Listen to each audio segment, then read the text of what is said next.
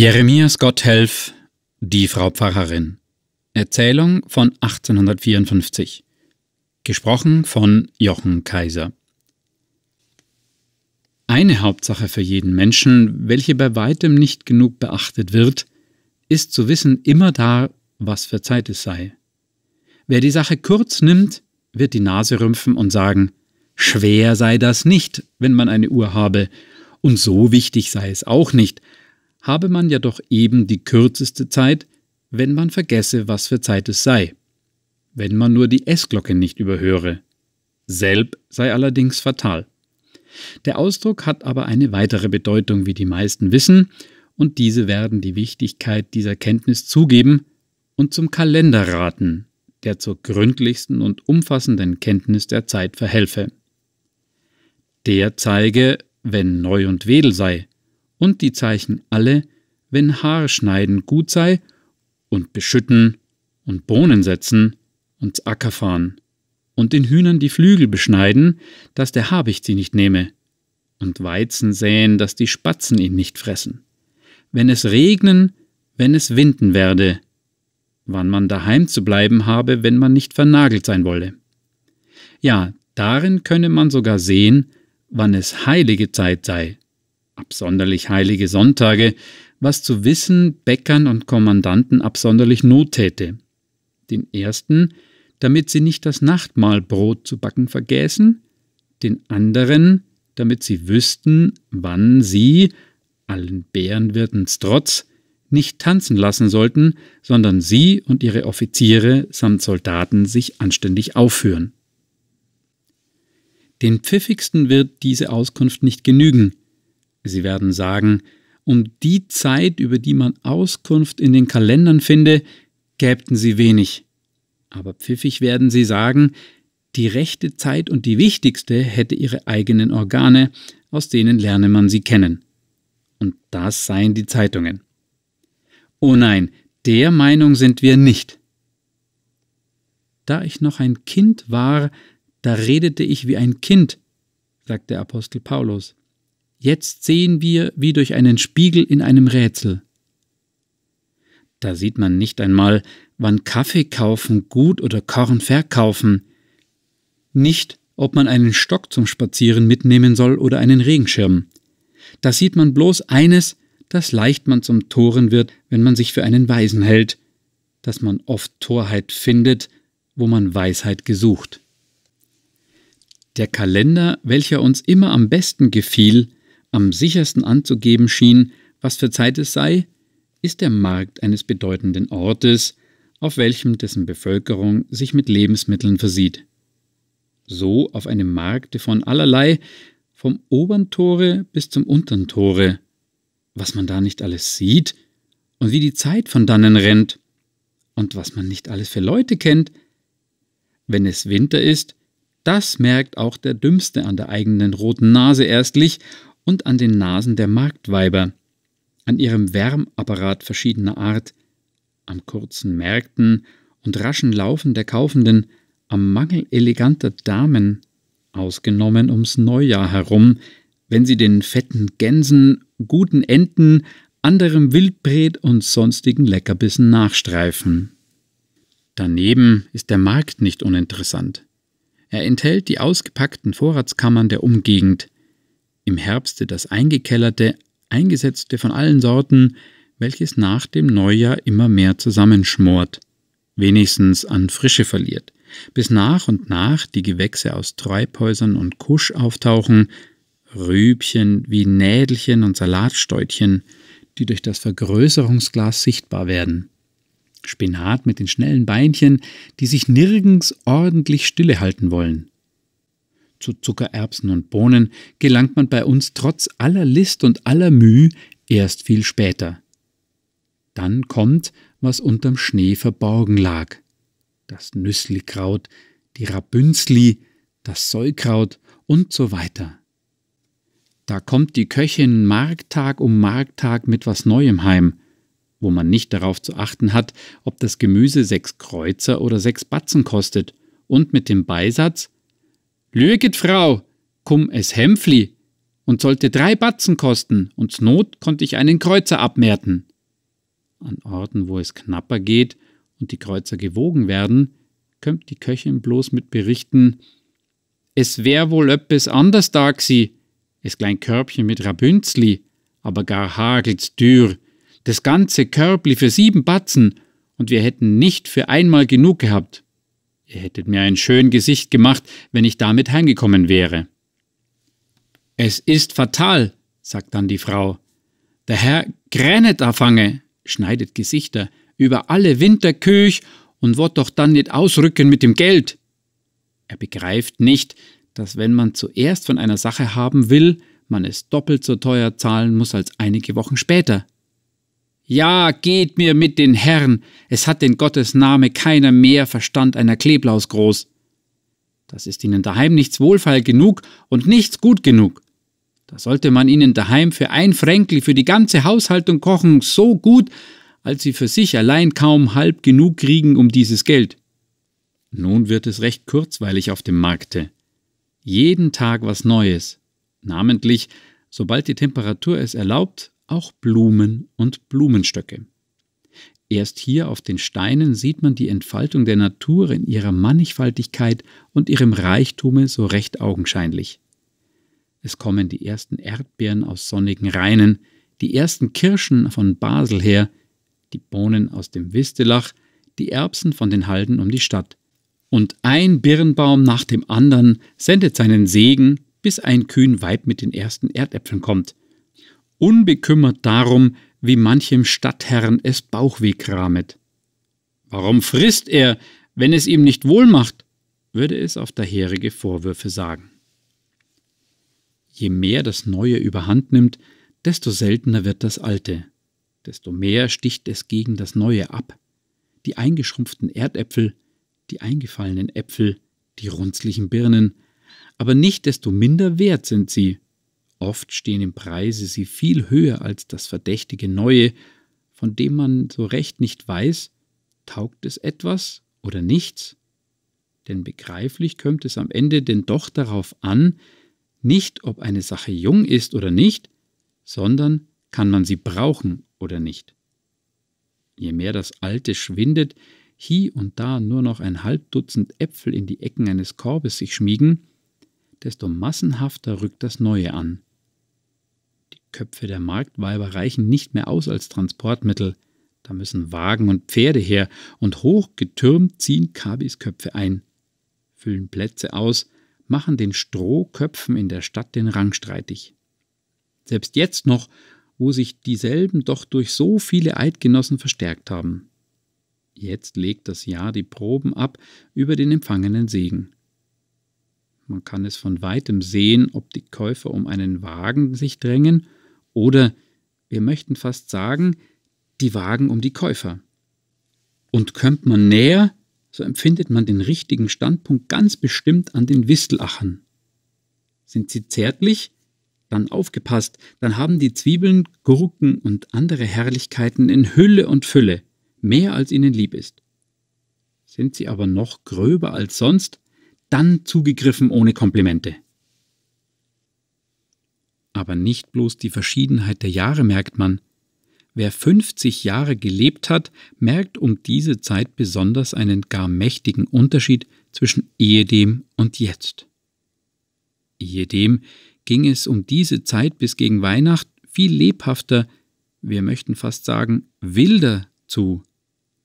Da kellerte man noch ein, machte Vorräte auf den Winter, machte Kabis ein, metzgete sogar.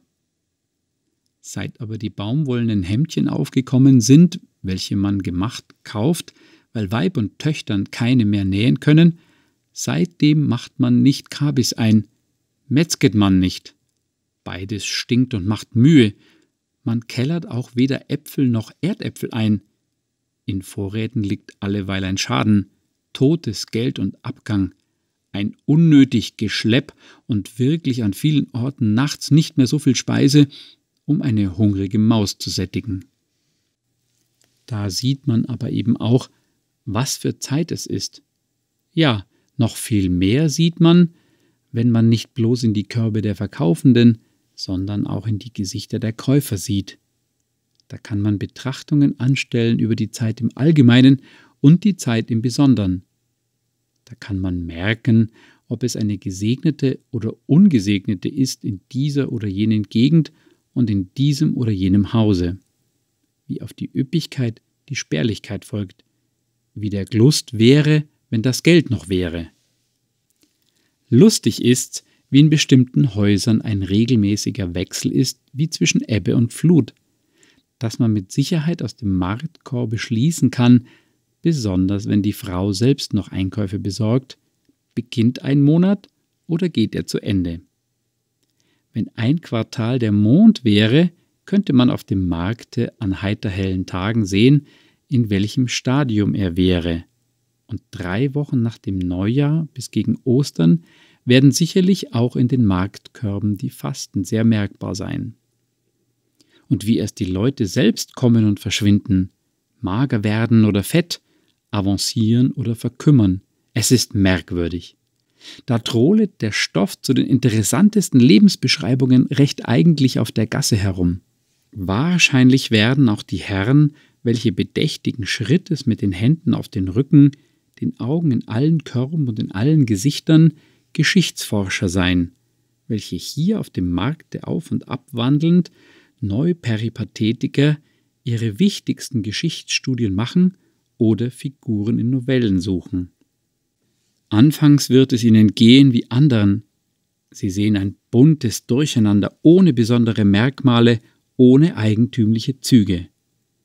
Erst bei längerem Beschauen trittet das Besondere auseinander, und Einzelnes macht sich bemerkbar, trittet immer eigentümlicher hervor, so dass, fehlt es einmal im Gemenge, der Besucher es vermisst und sucht. Er hat das Ganze nicht mehr, das Vermisste muss eine Lebensveränderung erlitten haben. Welche nimmt einen Wunder. Doch es gibt nicht Männer nur, welche Anlage haben zur Geschichtsforschung, daherige Studien unwillkürlich machen und sich auf dem Markte auch um die Menschen kümmern und nicht bloß um Rüben und Rabünzli. Wir hatten eine Base, eine couragierte Frau mit hellen Augen, raschen Entschlüssen und Urteilen, sie hätte den besten Schützen gegeben, ein Blick und Paff, Zach war richtig. Sie kam in ihren Reden, mit denen sie nicht kargte, oft auf ihre Markterfahrungen. Am liebsten redete sie davon, wie sie immer lange vorausgewusst, ob eine Haushaltung verlumpen werde oder nicht. Wenn eine junge Frau alle Erstlinge gekauft, ihr nichts zu teuer gewesen, bei keiner jungen Gans habe vorbeigehen können, so habe sie in der Regel es getroffen, wenn sie gedacht, Kauf du nur, du arms Tröpfli. Es kömmt dir schon anders, wenn du Verstand hast. Und hast keinen, je nun, so ist's nicht schade um dich, wenn dir auch das Geld ausgeht. Richtig habe ihr keine lange das Beste vor der Nase weggekauft. Sie war unerschöpflich in Geschichten über dieses Thema. Doch sah sie aber auch noch anderes als der Menschen Schwächen, auch das Bessere, Anmutige entging ihr nicht. Kurz, selten etwas Bemerkenswertes. Mit besonderer Vorliebe hielt sie folgendes Marktbild fest, aber sie musste in recht weicher, schöner Stimmung sein, wenn sie es zum Besten geben sollte. Vor einigen Jahren, erzählte sie, traf man jeden Markttag, außer bei ganz grundschlechtem Wetter, eine ältliche Frau. Sie fiel weder durch ihre Kleidung auf noch durch ihre Gestalt. Die Kleidung war äußerst einfach, aber ebenso reinlich.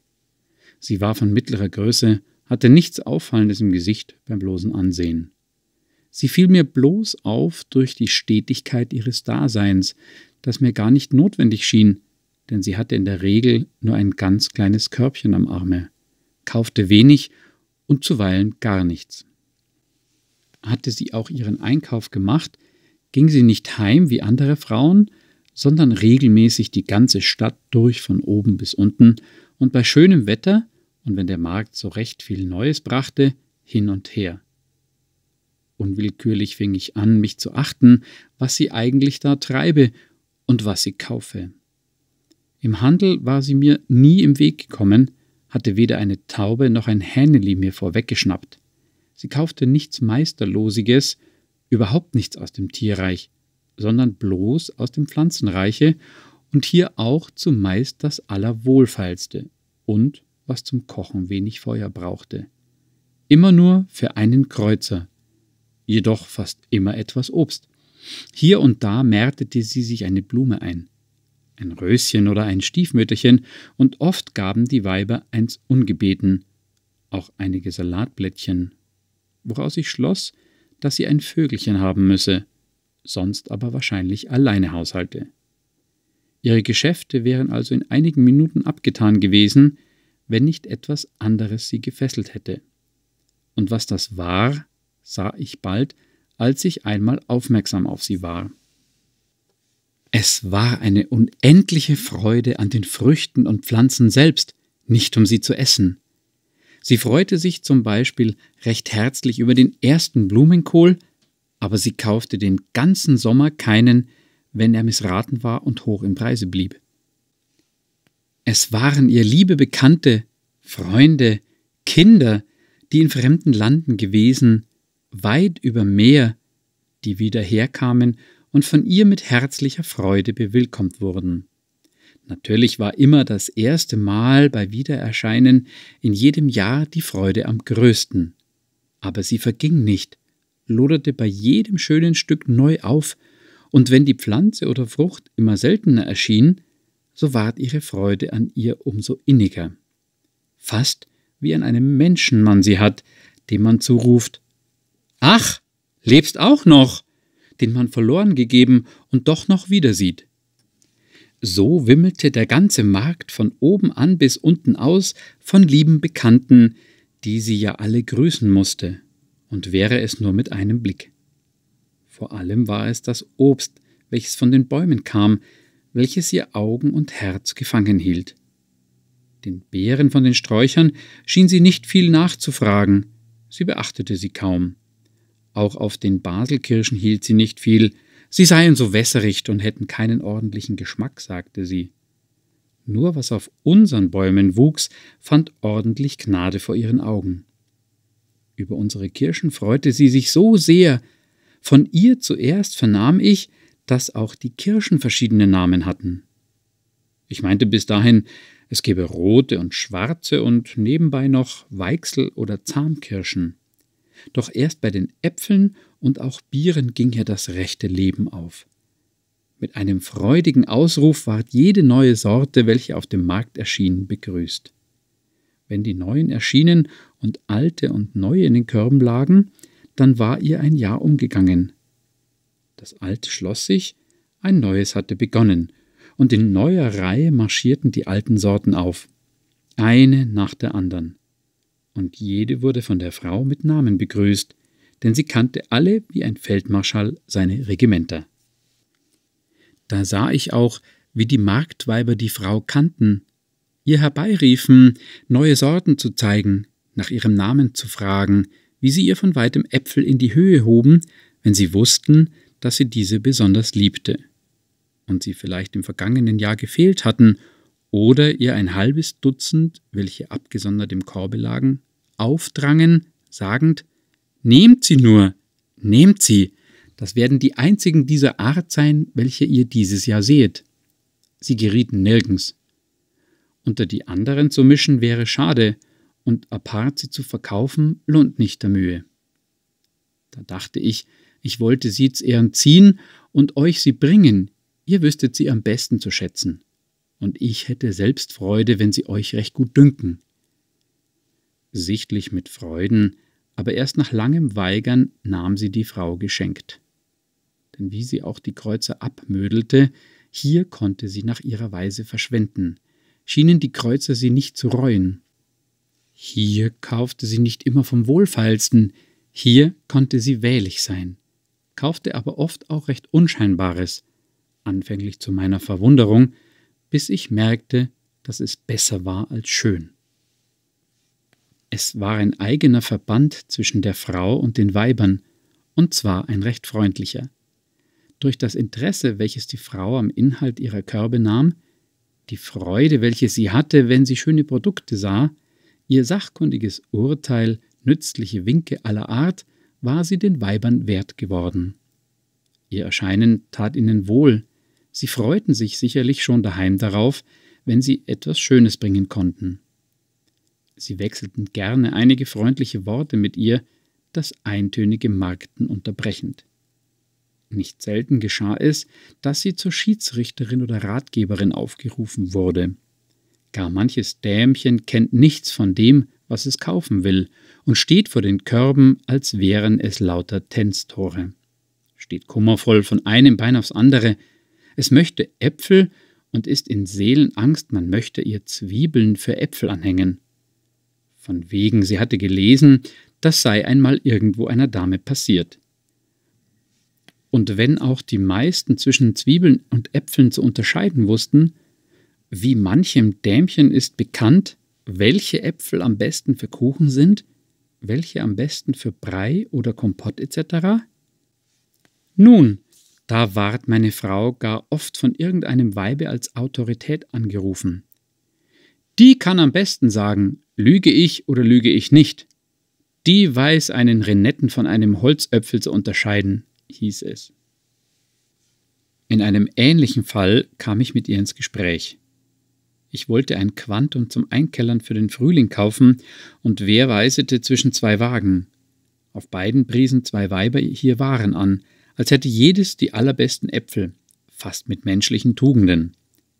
Da deutete das eine der Weiber auf die eben vorübergehende Frau und sagte, die kann sagen, was ich für Äpfel habe, die kennt sie. Sie gab ganz gefällig Bescheid, dass die Äpfel der anderen Frau für jetzt zu brauchen passender und besser seien, aber für später wären ihr die Äpfel der Frau, welche sie angerufen, viel lieber. Von da an wechselten wir öfter einige Worte, aber zu einer eigentlichen Bekanntschaft kam es nicht. Wir suchten beide nicht, fragten nicht einmal nach unseren Namen, wenigstens ich nicht. Da geschah es einmal im Winter, als es recht kalt und glatt, dass sie umfiel auf dem Markte und an Bein und Arm sich übel wirsete. Ob sie bloß ausglitt oder umgerannt wurde, wusste sie später selbst nicht.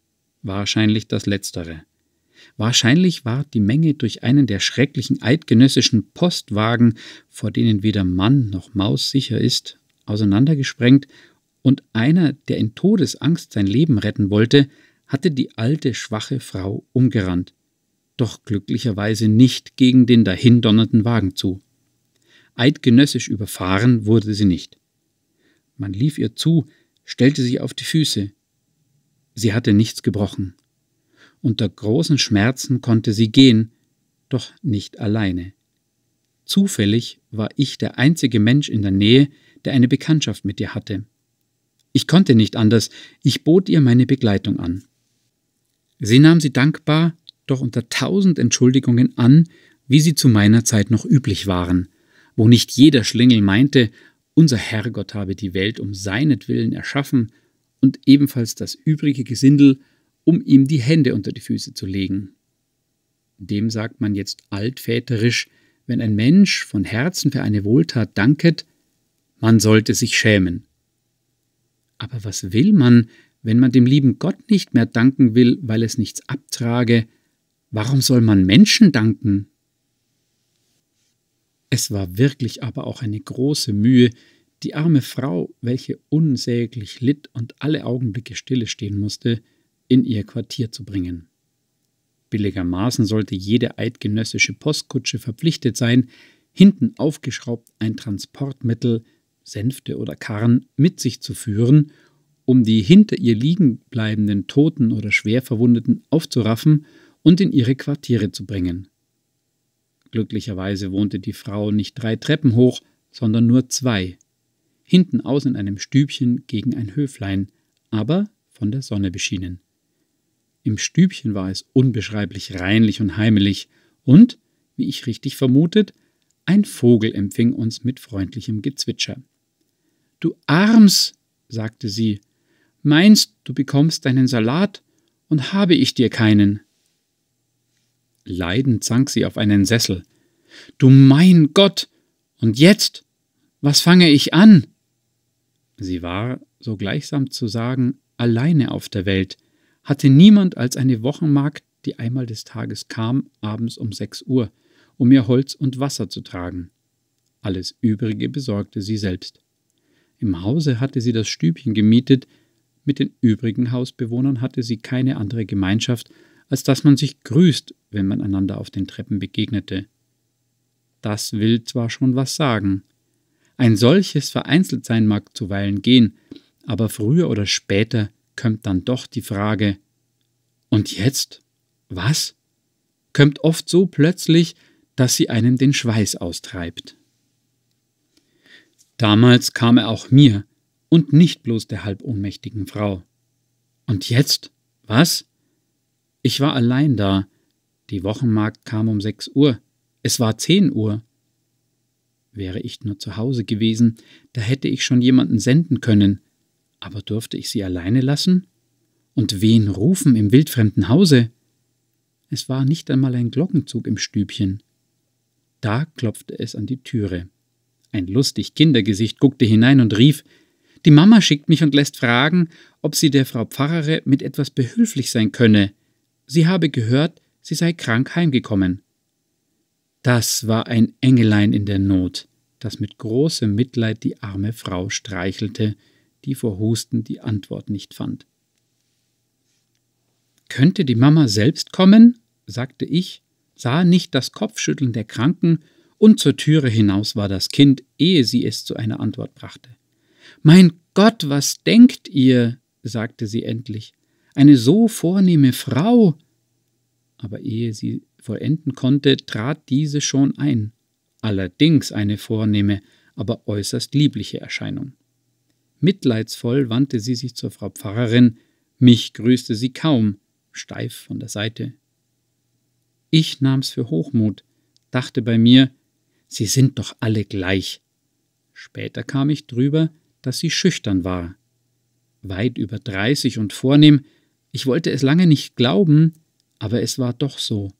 Sie war schüchtern, wurde leicht verlegen und sogar rot aus einfacher Verlegenheit. Und jetzt was machen? Vor allem aus müsse sie ins Bett, wurden wir rätig. Dann wolle ich nach meinem Arzte aus. Sie wollte nach dem ihren senden, sagte sie, aber der sei etwas bequem. Und wenn er sich einmal eine Tagesordnung gemacht, so weiche er nicht mehr davon ab.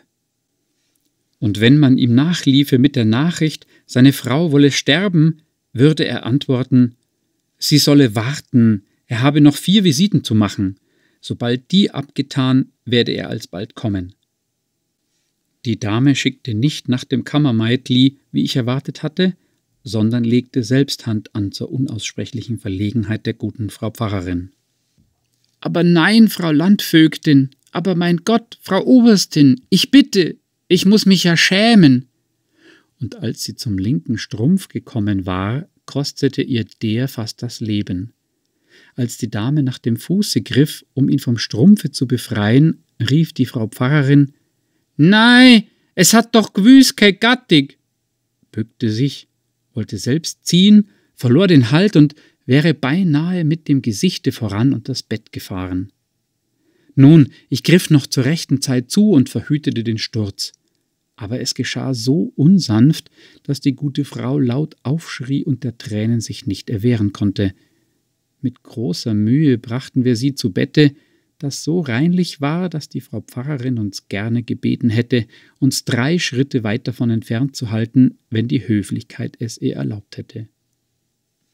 Endlich war sie unter vielen Schmerzen im Bette und hätte nun wenigstens ruhig sein können, wenn die Höflichkeit nicht gewesen wäre.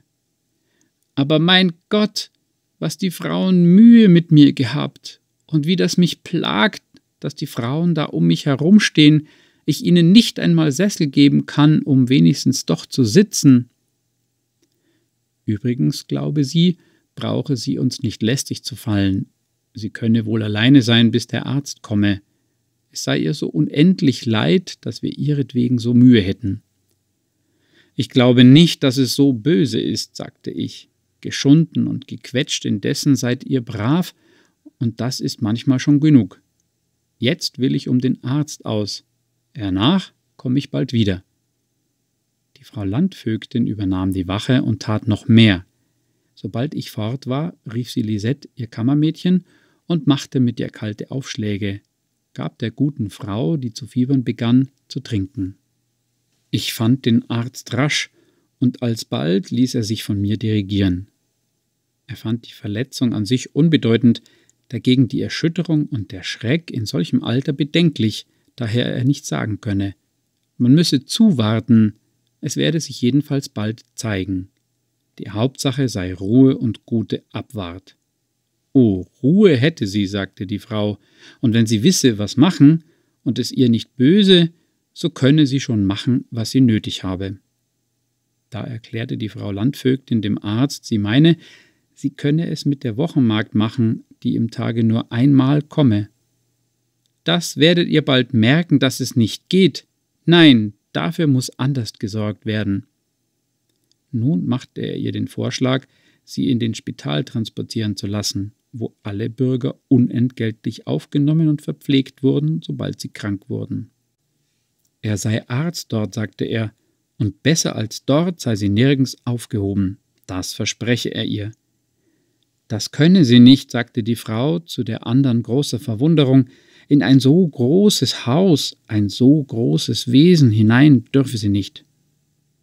In einem großen Saale könnte sie nicht krank sein, da hätte man ja Tag und Nacht weder Ruhe noch Schlaf. Krank sein könne man nur in einem kleinen Stübchen.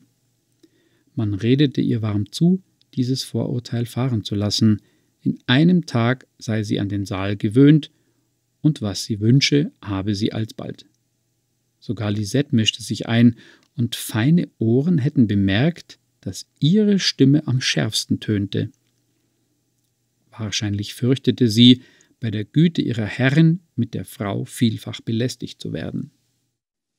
Die gute Frau Pfarrerin fühlte gar wohl, dass dieses Weigern als eine kindische Meisterlosigkeit vorkommen musste. Sie kam in sichtbare Angst. Da sagte die Frau Landvögtin Nein, meine liebe Pfarrerin, seid nur ruhig. Es ist dann nicht, dass dieses absolut sein muss. Ich begreife gar wohl, dass man lieber alleine krank ist, als unter einem Dutzend, wo, wenn einer schlafen möchte, ein anderer hustet. Ich hätte es ganz auch so. Eine gute Abwart wird sich wohl finden. Oh ja, sagte Lisette, fürs Geld sind immer Leute zu haben, die gerne etwas verdienen möchten. Lisette, sagte die Frau Landvögtin, geht doch hinauf und seht, ob die Köchin vom Markt zurück ist und ist sie noch nicht heim, so schließt das Vestibül. Der Herr ist auch ausgegangen. Es ist ein Strolchenvolk in der Stadt, man ist nirgends mehr sicher. Ihr werdet doch denken, sagte die Frau Pfarrere, für eine arme alte Frau tue ich dumm.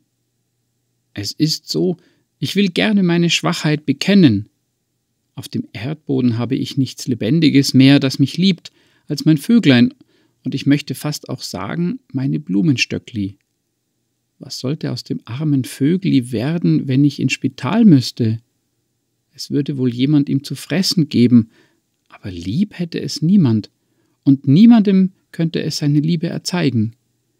Es würde vor Lengizyti nicht fressen, und ich könnte nicht schlafen.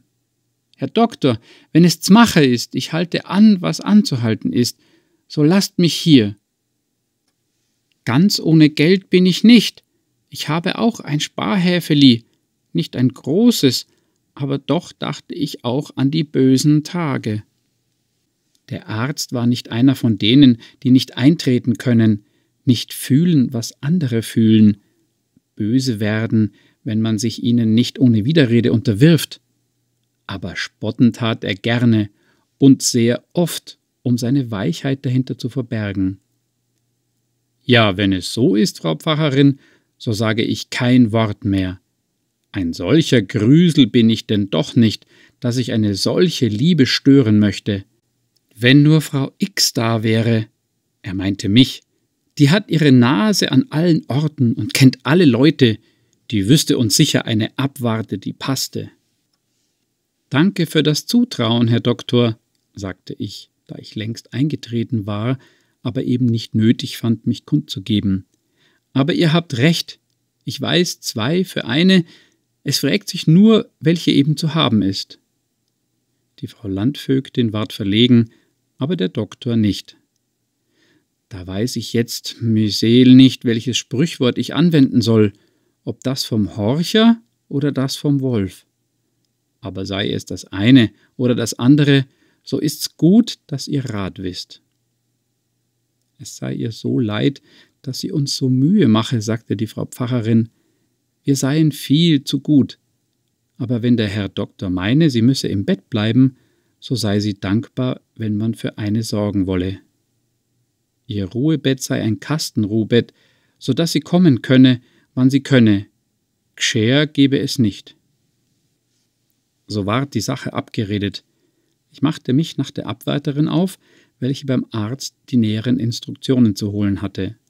Die Frau Landvögtin übernahm die einstweilige Überwachung. So hatte ein sogenannter Zufall Personen zusammengewürfelt und in Verbindung gebracht, die sonst nie in Berührung gekommen wären. Um freundliche Erinnerungen wäre mein Leben ärmer geblieben, um Vorurteile reicher. Wie vieles in der Nähe ganz anders sich macht als in der Ferne, man glaubt es gar nicht. Es gibt Verhältnisse, Lebenslagen, die schimmern weithin. Dort wohne, sollte man glauben, das leibhaftige Glück, nach dem Mitgenusse seufzen lüsterne Seelen. Und wären sie dort, säßen sie mittendrin, sie würden erschreckt die Augen aufreißen, würden meinen, sie seien verirrt, ans unrechte Ort geraten, würden nicht rasten, nicht ruhen, bis sie wieder heraus wären aus der Pein, die ihnen von ferne wie ein Vorhof der Seligkeit vorgekommen. Und wie es mit den Verhältnissen so oft der Fall ist, geht es auch mit Menschen. Menschen von ferne die liebenswürdigsten werden nicht selten in der Nähe die widerwärtigsten. Als wir noch nicht verheiratet waren, dünkte mich immer, ich müsse meine Braut fressen. Und jetzt bin ich so reuig, tat ich es damals nicht, seufzte ein beschwerter Ehemann. Umgekehrt geht es aber ebenso oft. Lagen, von denen man sich versicherte, man möchte nicht gemalt darin sein, können sehr angenehm und heimelig werden. Menschen, von denen man sagte, sie hätten rechte längizüte Gesichter, bei denen hielte man es nicht aus. Gut lüt, gut lüt, i Gottes Name, aber langweilig vom Düfel. Und gerade diese Leute können uns recht lieb werden, ja, sich eigentlich einnisten in unser Leben, dass, wenn sie uns genommen werden, eine rechte Lücke entsteht in unserem Dasein, die sich lange nicht füllen will. Sie haben halt das meiste und Beste nicht auf dem Gesicht, sondern tiefer innen. Eine ähnliche Erfahrung sollte ich jetzt machen. Wer mir gesagt hätte, es würde mir zwischen einer alten Pfarrfrau und einer eleganten und vornehmen Frau Landvögtin recht wohl und heimelig, ja absonderlich wohl und heimelig werden, den hätte ich sehr ausgelacht. Und doch ging es mir jetzt so. Freilich wäre es nicht allen so gegangen, ja vielen nicht und gerade den Tonangebern, ausschließlichen, der Creme der Gesellschaft nicht. Es gibt Leute, welche über alles, was nicht nach ihrem Salon oder ihrem Kaffeehaus riecht, die Nase rümpfen, für nichts Interesse haben und unendlich langweilig finden, was nicht in diesen Kreisen besprochen wird. Diese Leute halten sich für sehr fein gebildet und sind es eben nicht, sondern äußerst borniert, grusam beschränkt, denn nur in einem ganz kleinen Gebiete des Menschenlebens sind sie einigermaßen bekannt. Und so einer kann unter sinnigem Gränen und schrecklichem Aufblick gen Himmel sagen, die dummen Leute, die könne er nicht leiden. Wen heißt er dumm? Und können nicht mit dem gleichen Rechte andere ihn den Allerdümmsten beizählen? Das Dumm ist ein gar seltsam Wort. Es gleicht gar oft dem Stein, der den Schleuderer selbst ins Gesicht schlägt. Die Folgen des Unfalls waren ganz andere, als die gute Frau sie sich anfangs gedacht. Es ist mit dem menschlichen Körper fast wie mit Wein, den man in Flaschen gezogen, jahrelang unberührt liegen gelassen, so dass er sich auf das Feinste abgeklärt, goldgelb herrlich leuchtet. Werft die Flasche unbedacht hin und her, so mischt sich die Unreinigkeit, die sich abgesondert hat, mit dem Reinen wieder und trübt es der Gestalt, dass man den Wein lange nicht wieder hell kriegt, dass es fast ein anderer Wein geworden zu sein scheint. Ähnlich ist es mit dem menschlichen Körper. Lasst einen ältlichen Menschen, der jahrelang ein einförmig stilles Leben geführt, von einem Unfall betroffen werden, durch einen Beinbruch zum Beispiel oder ja auch durch einen, wenn auch indirekten Mupf von einem eidgenössischen Postwagen, so dass der Körper erschüttert wird, die Lebensweise geändert werden muss, so trittet so gerne eine Hinfälligkeit hervor, die man gar nicht geahndet. Der Schaden wird zur Nebensach, die Kränklichkeit nimmt eine ganz andere Gestalt an, geht nicht selten endlich in Tod über.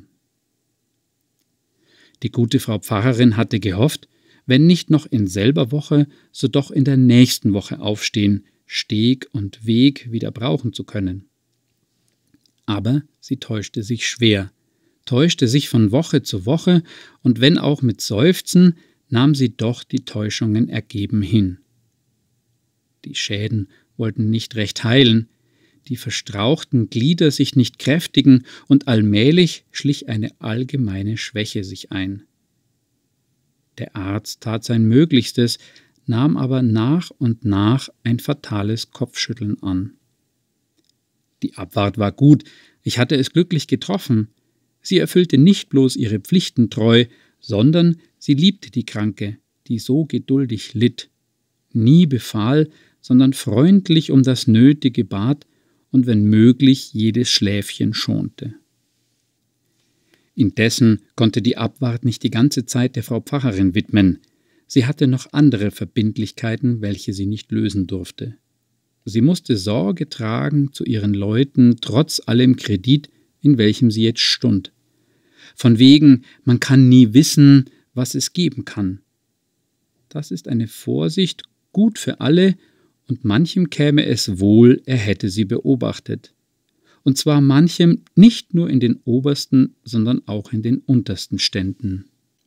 Ja, Ratsherren per Exempel brauchen noch oft Vorsicht, aber so manches Stüdi, das einmal zu einem Platz gekommen, wo man zweimal in der Woche frisch kocht und nun meint, von da aus liefen die Wege zu allen Herrlichkeiten der Welt unfehlbar, und unbekümmert um Gott und Menschen könne es Schüsseln und Kacheln, Himmel donnern an den Wänden herum, das mache alles nichts. Ihm fehlten die besten Plätze nicht, wenn es einmal einen Mocken abdämpfen und saure Leber anbrühen könne. Lässt sich nicht träumen, dass es im nächsten Jahr sechs Monate ohne Sohlen an den Schuhen werde Meister suchen müssen, keinen Tag wissend, wo es am Abend sein Haupt zur Ruhe werde legen können. Eine Wochenmagd oder auch Abwart hat gar ein zufälliges Einkommen, weil keine bleibende Anstellung. Empfehlungen machen da die Hauptsache, und um die kommt man so leicht. Man braucht nur an einem Orte uneben zu trappen, so ist die Gnade verwirkt. Das ist eh Madame, heißt es. Wohl, da lässt sich lurke, dass man die Majestät nicht verletzt. Die möchte ich um keinen Preis mehr, und rekommandieren keinem Menschen. Unsere Abwart hatte sich also einige Zeit vorbehalten, musste zudem auch für die Frau Pfarrerin Verrichtungen machen, so dass sie alleine war in diesen Zwischenräumen. Wir ordneten die Zeiten so, dass diese Zwischenräume des Alleinseins ganz klein wurden oder ganz verschwanden. Ich muss sagen, die Frau Landvögtin tat da das Beste und nicht bloß durch Lisette oder eine andere Stellvertreterin, sondern wenn möglich in eigener Person. Ja, wenn sie auch wusste, ich war da, so kam sie doch noch zuweilen mit der Arbeit und half die Zeit vertreiben. Und wenn jemand sagte, die Frau Landvögtin ist aber fleißig, man sollte meinen, wie nötig sie es hätte, man muss sich schämen, antwortete sie, bin es gewohnt von Jugend auf, Meiner Mutter hätte jemand müßig sein sollen. Die sagte, jede anständige Berner Frau arbeite, nur mit Güschigut und junge Gecksnäseni täten nichts. Was uns am meisten auffiel, war eine Verlassenheit oder Vereinzelung, wie sie wohl selten vorkommen wird. Sie fragte, schickte nach niemandem, niemand fragte nach ihr. Nur ihr Vöglein zwitscherte, bis es zu ihr konnte, und nur die Blättchen schienen ihm recht zu schmecken, die es von ihr bekam oder die sie zwischen die Stäbchen steckte. Auch des Marktes muss ich gedenken, wo ihr Ausbleiben natürlich den Marktweibern auffiel. Großes Bedauern erweckten die Folgen des Unfalls. Hier eine Frau, dort eine ließ sie grüßen. Ihr sagen, sie solle doch ja machen, dass sie bald wiederkomme. Man habe recht Langeweile nach ihr. Hier eine, dort eine, gab mir eine Blume, einen Apfel für sie mit dem Bedeuten, man habe den Express für sie mitgebracht, weil man sich erinnere von früher her, wie sie Wohlgefallen daran gehabt. Ein Weib gab dem anderen das Beispiel, dass, wenn ich alles hätte annehmen wollen, ich eine eigene Magd hätte mitnehmen müssen. Freilich kaum für lange, sowas ist selten anhaltend bei den Weibern, aber ich bat, es nicht so gut zu machen auf einmal. Wie wollte sie das alles brauchen, da sie alleine sei? Aber jeweilen ein Zeichen werde sie sehr freuen, die arme Frau, welche es kaum lange mehr machen werde. Nun trug ich denn allemal etwas heim, und ward es mir zu viel, so schob ich es zurück aufs nächste Mal. Mein Trägerlohn aber war ein reicher. Ach, was die gute Frau Pfarrerin sich freute über die Gaben und über die Weiber, dass sie ihrer gedächten und dass die Äpfel so schön geraten, sie ward jedes Mal glücklich bis zu Tränen. Solch ein kindlich Gemüt kam mir in meinem Leben nie vor. Aber was solch ein Gemüt für ein Schatz ist, begreift die Welt nicht. Es ist auch ein Gut, das über allen Verstand geht, so gut als der Friede Gottes. Das sogenannte Glück, nach dem alle jagen, ist außerhalb den Grenzen der beiden nicht möglich, ist nichts als ein trügerisches Wesen oder ein garstig Gespenst. Dass wir nach Verwandten, Bekannten fragten, denen man vielleicht etwas wissen lassen könnte, wird jedermann begreiflich finden. Doch durften wir es nur leise, unbemerkt tun, sie hätte sonst geglaubt, es sei nur, um ihnen unsere Last zuzuschieben. Aber sie antwortete immer, sie hätte niemand als den weisen Vogt ihrer Zunft, den sie kenne, und den sie einstweilen ruhig lassen wolle, solange es möglich sei. Er meine es nicht bös, aber er sei ein grober Polteri, trete in nichts ein, und wenn man nicht alles mache exakt, wie er befehle, so behandle er einen ärger als eine Magd oder gar, als ob eigentlich Leben und Sterben nur von seiner Gnade abhingen. Sie schlotterte ordentlich, die gute Frau, wenn sie von ihm sprach. Wie schlotterte sie aber erst, als sie vernahm, dass derselbe mein Vetter sei, ich hatte die größte Mühe, sie zu beruhigen und ihr begreiflich zu machen, dass ich durchaus nicht beleidigt sei. Der Vetter sei mir zwar lieb, aber ich kenne ihn zu gut, um es übel nehmen zu können, wenn jemand über seine Schwächen lache oder sich beschwere. Es war ein Mann, wie man zu sagen pflegt, von altem Schrot und Korn, ehrlich und tüchtig bis ins innerste Mark hinein und dazu in Privatgeschäften mild und angenehm doch ganz anders, sobald er auf den amtlichen Boden kam. Da kam er wie auf den Wolken der Majestät. Majestätsverbrechen waren ihm Widerspruch und Einrede, da ward er rücksichtslos und streng, schien hart und hochmütig. So musste ihn die arme Frau erfahren haben. Es nahm mich Wunder wie. Überhaupt drängte es mich, den Umgang vor ihrer Vergangenheit aufzuheben, um zu erfahren, wie es gekommen, dass sie so eigentümlich geblieben oder geworden. Aber nicht bloß ich war gwundrig, der Frau Landvögtin ging es akkurat gleich wie mir. Als ich einmal des Nachmittags zu ihr wollte, traf ich auf der Treppe die Frau Landvögtin an. Sagt mir doch, redete sie mich an, wisst ihr nichts vom Leben unserer Frau Pfarrerin? Es nimmt mich tot Wunder, Sie sitzt sorgfältiger darauf als eine Gluckere auf ihren Eiern und möchte nicht das geringste merken lassen, und gerade deswegen nimmt es mich so Wunder. Gerade gleich geht es mir, sagte ich. Nun, wisst was, ihr seid eine so resolute Frau, so stecht sie diesen Nachmittag geradezu an. Es ist absurd Wetter, so gerade recht, dass man nicht gestört wird und besonders geneigt ist, etwas zu hören. Sie ist so eine gute, dass sie es nicht abschlagen darf, und was wir zu hören bekommen, bringen wir ihr nicht aus. Wir dürfen es also wohl wagen. So war es mir gerade auch, und sobald die Frau Landvögtin, die noch einen kleinen Ausgang gemacht, sich gesädelt hatte und die Liesmäte im Gang waren, fragte ich Was hättet ihr gesagt, Frau Pfarrere, wenn ich meinen Vetter heraufgebracht hätte? Ich traf ihn fast vor der Haustüre an und hatte gute Lust, ihm zu sagen, er sei ein sauberer Vogt und kümmere sich schlecht genug um seine Anvertrauten. Was der wohl für ein Gesicht gemacht hätte? Meine kleine Bosheit hätte ich bald bereut, der Angst wegen, in welche die arme Frau geriet. Mein Gott, nur das nicht, rief sie. Ich glaube, der Schlag rührte mich. Gott behüte mich davor, rief sie, wenn ich ihn plötzlich unter der Türe sehen würde. Wohl, der würde mir schöne Sachen sagen, dass ich mich nicht habe krank melden lassen bei ihm und nicht in den Spital gegangen. Er ließe mich noch jetzt auf der Stelle transportieren. Nachdem wir sie bestens beruhigt, fuhr ich fort und bat sie, uns zu erzählen, warum sie den guten Waisenvogt so fürchte, uns überhaupt unser Gwunder zu stillen und uns von ihrem vergangenen Leben zu erzählen. Wir wüssten ja gar nichts von ihr als den Namen, und in Bern sei es bräuchlich, dass man nicht bloß diesen, sondern auch die Herkunft eines Menschen wenigstens bis zu Großvater und Großmutter hinauf genau wisse, sonst bleibe ein Mensch immer verdächtig. Sie entschuldigte sich anfänglich mit dem Nichts ihrer Geschichte.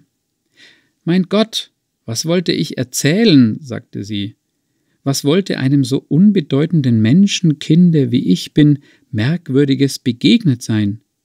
Ihr würdet einschlafen darob als wir ihr sagten, schon das sei merkwürdig, dass sie hier niemand kenne und dahergekommen scheine fast als wie vom Himmel herab, sagte sie Das ist ganz natürlich, ich bin darum nicht von hier, sondern und somit kam sie in ihre Geschichte hinein, und als sie einmal im Zug war, vergaß sie die Bedenken. Als ich jung war, dachte ich nicht daran, dass ich je Burgerin von Bern werden würde, doch um Vergebung, es ist nicht alles Gold, was glänzt. Ich bin aus einem der kleinen Städtchen, wo, wie das Sprichwort sagt, man am oberen Tore einen Schoppen Niedle ausleeren und am unteren Tore wieder auffangen kann, ohne einen Tropfen zu verlieren. Dort war mein Vater Torwärter und hatte zugleich die Stadtuhr zu überwachen und zu sorgen, dass immer da zur rechten Zeit Mittag sei. Es war ein wichtiger Posten, aber auch ein beschwerlicher. Die Uhr war alt, stund daher gerne still und merkte das mein Vater nicht alsbald, so kam die Frau Burgemeisterin oder Frau Burgerschreiberin oder eine andere Frau vom hohen Adel des Städtchens dahergelaufen und machten meinen Vater und später mir den Marsch und drohten, wenn man's Zeit nicht besser besorge, gebe es ander Wetter. Unter dem Tore hatte mein Vater ein Lädeli angebracht zum Verdienst und Zeitvertreib, wo man das beste Schwefelholz fand, denn mein Vater machte es selbst, doch hielt er es so viel möglich geheim. Nebenbei waren noch andere wichtige Sachen zu haben, Tabak zum Beispiel und oft auch Kaffee, im Winter Nüsse und Kastanien. Mein Vater war Witwer, er hatte keine Kinder als mich, und eine Magd vermochte er nicht und dachte nicht daran. Als Burger hatten wir Land zum Pflanzen, einige Fruchtbäume. Vater und ich besorgten das gemeinsamlich, so gut es gehen wollte. Ach, mein Vater selig war ein guter Mann. Er meinte nie, dass ein Mensch an zwei oder drei Orten zugleich sein könne. Wenn ob dem Lädeli eine Pflanzung oder ob dem Garten das Lädeli versäumt wurde, er schmälte mich nie, und mit der Zeit nahm er es am geduldigsten. Er aß, wenn gekocht war, und meinte nicht, dass es immer nur nach zwölf zu gleicher Zeit geschehen müsse, wie zum Beispiel die Frau Stadtschreiberin mit ihrer spitzigen Nas. Ich wusste oft nicht, wo wären, das Nötigste abzutun. Aber ich war zufrieden. Es kam mir nicht in den Sinn, dass ich's bös hätte, und am Sonntag hatte ich recht schöne Tage. Da konnte ich im Lädeli sitzen und alles sehen, was aus und einging, löste manchen schönen Kreuzer, erhielt manches gute Wort, und Abend wurde es, ich wusste nicht wie. Dann träumte ich noch die schönsten Sachen, und war der Montag da, so freute ich mich wieder auf den Sonntag. So lebte ich fast in lauterem Glücke, wenn auch in stillem. Ich war sehr wenig unter Gespielen, meist daheim, wo ich mehr als genug zu tun hatte. Aber der Vater hatte mich lieb, und was wollte ich mehr?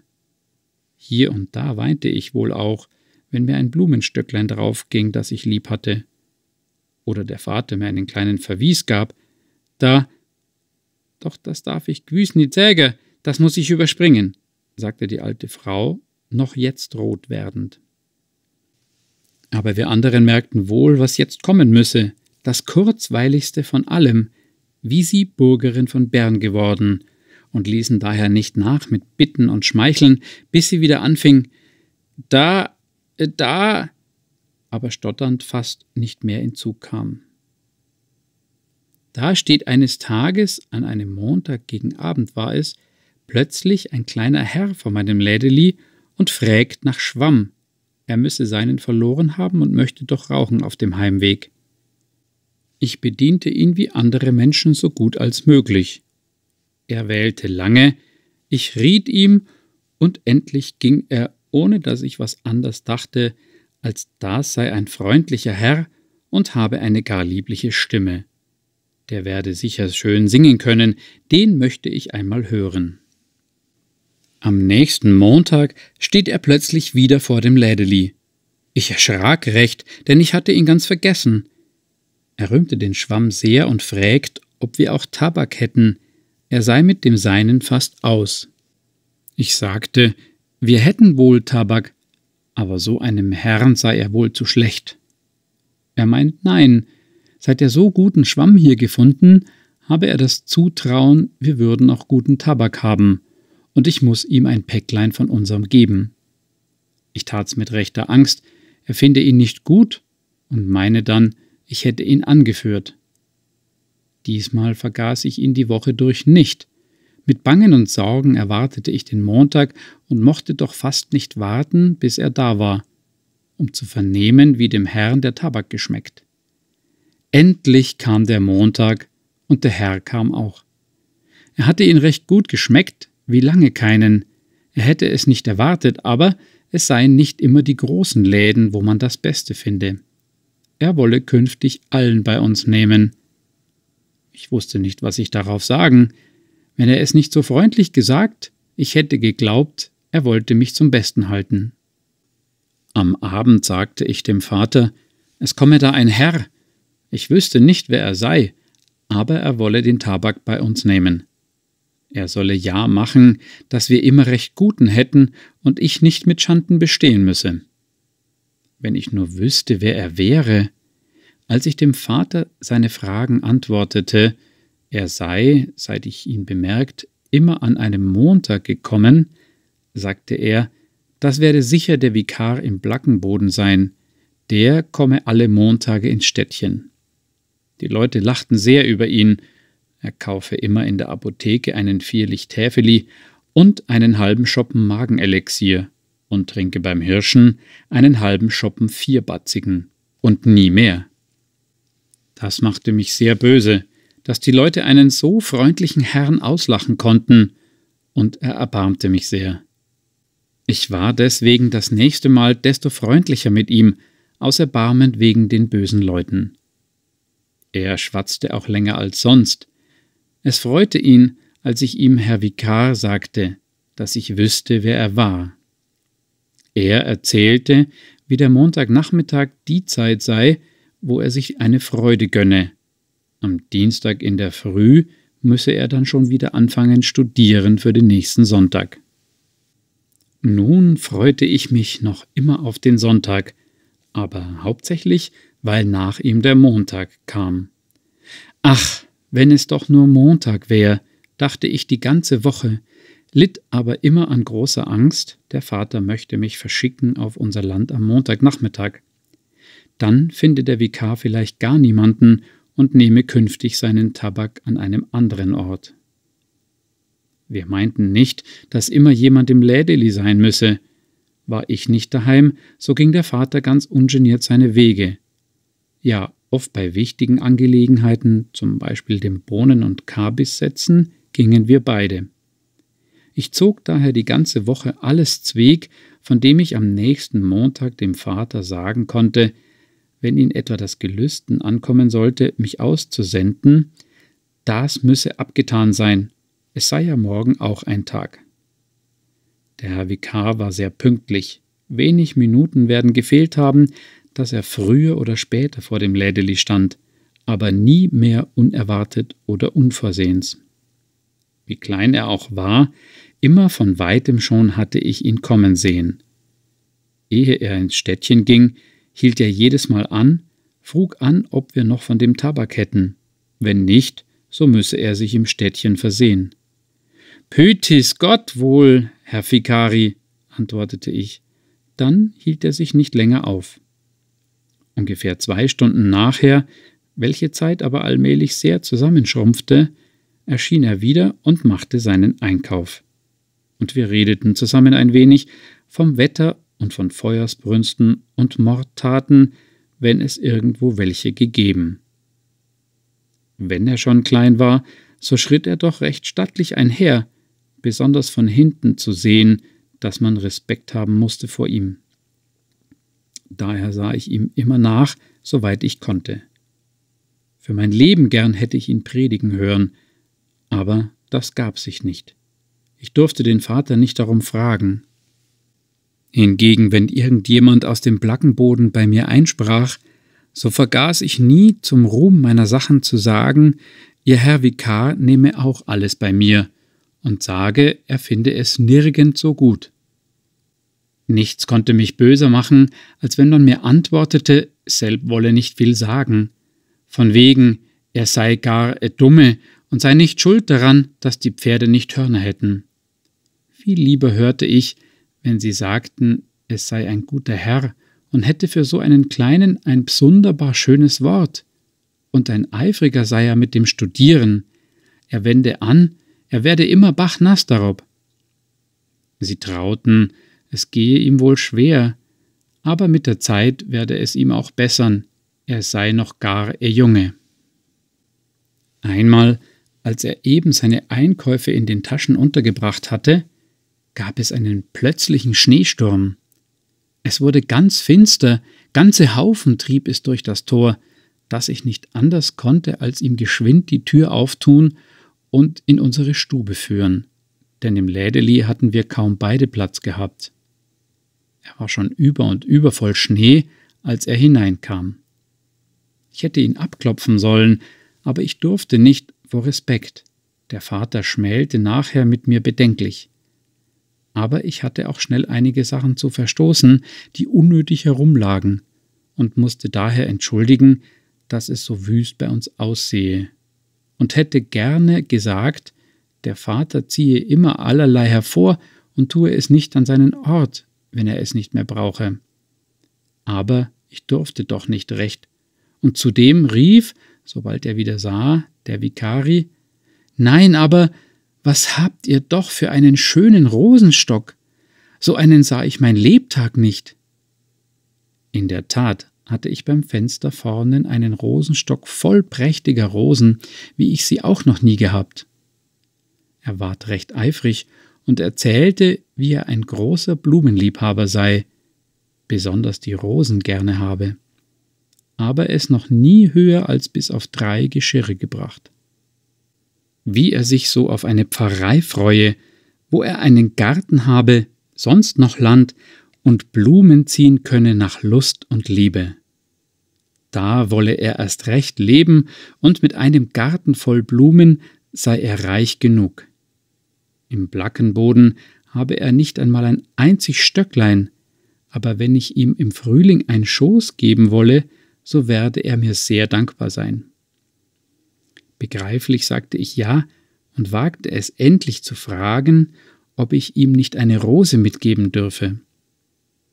Und als er sagte, Püt is gar gern, brach ich einen Stängel ab, an welchem eine eben aufgegangen und ein Knopf zum Aufgehen war. Ach, wie er so freundlich danken konnte. Von da an ward unser Verkehr traulicher, und er kam nicht bloß vors Lädeli, sondern auch zuweilen in die Stube, indem er nach den Blumen fragte und sie zu sehen begehrte. Mein Vater hatte viel auf dem Vikar, nicht bloß wegen der Ehre, dass er unser Kunde war, sogar bei uns einsprach, sondern dass er ihm geduldig zuhörte, wenn er eine seiner Geschichten zum Besten gab, und sogar darüber lachte, was dem Vater selten mehr begegnete, da er selten auf jemand stieß, dem er sie noch nicht erzählt hatte. Er sagte oft, solche seien rar im Lande, wenn viele derer wären, ginge es auch besser im Lande. Der Rosenstock machte unseren Verkehr lebhafter. Der Herr Vikari fragte immer nach demselben und fragte auch wohl, ob er nicht etwa ein Röschen davon haben könnte. Er täte gerne etwas einstellen, und im Pfarrhause hätten sie gar nichts Grünes. War das nicht deutlich genug gesprochen? Ich sollte ihm für etwas Grünes sorgen? Und ich tat es so gerne, dachte die ganze Woche dran, und hätte ich es nicht getan, hätte der Vater mich gemahnt. Er war so bescheiden und klagte gar nicht über des Pfarrers im Blackenboden, wenn wir ihm auch Anlass dazu gaben, indem wir, gestützt auf das, was die Blackenbödeler über des Pfarrers zu sagen pflegten, ihn zuweilen bemitleideten. Er könne nicht klagen, sagte er dann, sie meinten es nicht bös, aber verstanden es nicht besser. Er sei nicht meisterlosig und nie hungrig zu Bette gegangen, nur sei es ihm nicht angenehm, wenn die Frau Pfarrerin immer sage, was das Stückli Fleisch auf dem Tische gekostet und wie teuer abermal das Brot sei, und ein Pfarrer, wenn er einen Vikar habe, arme Tage geraten müsse notwendig. Das stelle ihm zuweilen den Appetit, dass er nicht recht esse. Wenn er daher hungrig bleibe, sei es seine Schuld, denn genug wäre da gewesen. Das rührte mich immer. Das gäbte einmal ein gut Mannli, musste ich denken. Ich mochte wollen oder nicht. Ja, lacht nur ihr Frauen. Ihr habt recht. Aber dass er mein Mannli werden könnte, daran dachte ich doch wahrhaftig nicht. Nein, das fiel mir nicht von weitem ein. Die Frau Pfarrerin war besonders berühmt wegen schlechten Kaffee, wo Kaffee hieß und zumeist auch nicht eine Bohne da rein sein sollte. Als ich ihn einmal darüber fragte und er entschuldigend sagte, das wiss er nicht, etwa viel Tugend habe er nicht, aber doch kein Abguss, er sei zu trinken, besonders wenn man durstig sei, sagte mein Vater, mach dem Herrn Vikari ein Kaffee. Er kann dann unterscheiden, was eigentlich Kaffee sei oder nicht. Er tut uns wohl die Ehre an und trinkt eins mit uns und schämt sich unserer nicht, wenn wir schon geringe Leute sind. Der Vikar war sichtlich erfreut über die Einladung und gab ein Kapitel gegen den Hochmut los und erklärte, wenn er schon Bürger von Bern sei, so wüsste er nicht, warum er eigentlich stolz darauf sein sollte, von wegen er sei nicht schuld daran, dass er es sei. So habe es ihm Gott geordnet. Er hätte ebenso gut in einem Städtchen ja sogar in einem Dorfe geboren werden können, wenn es Gottes Wille gewesen wäre.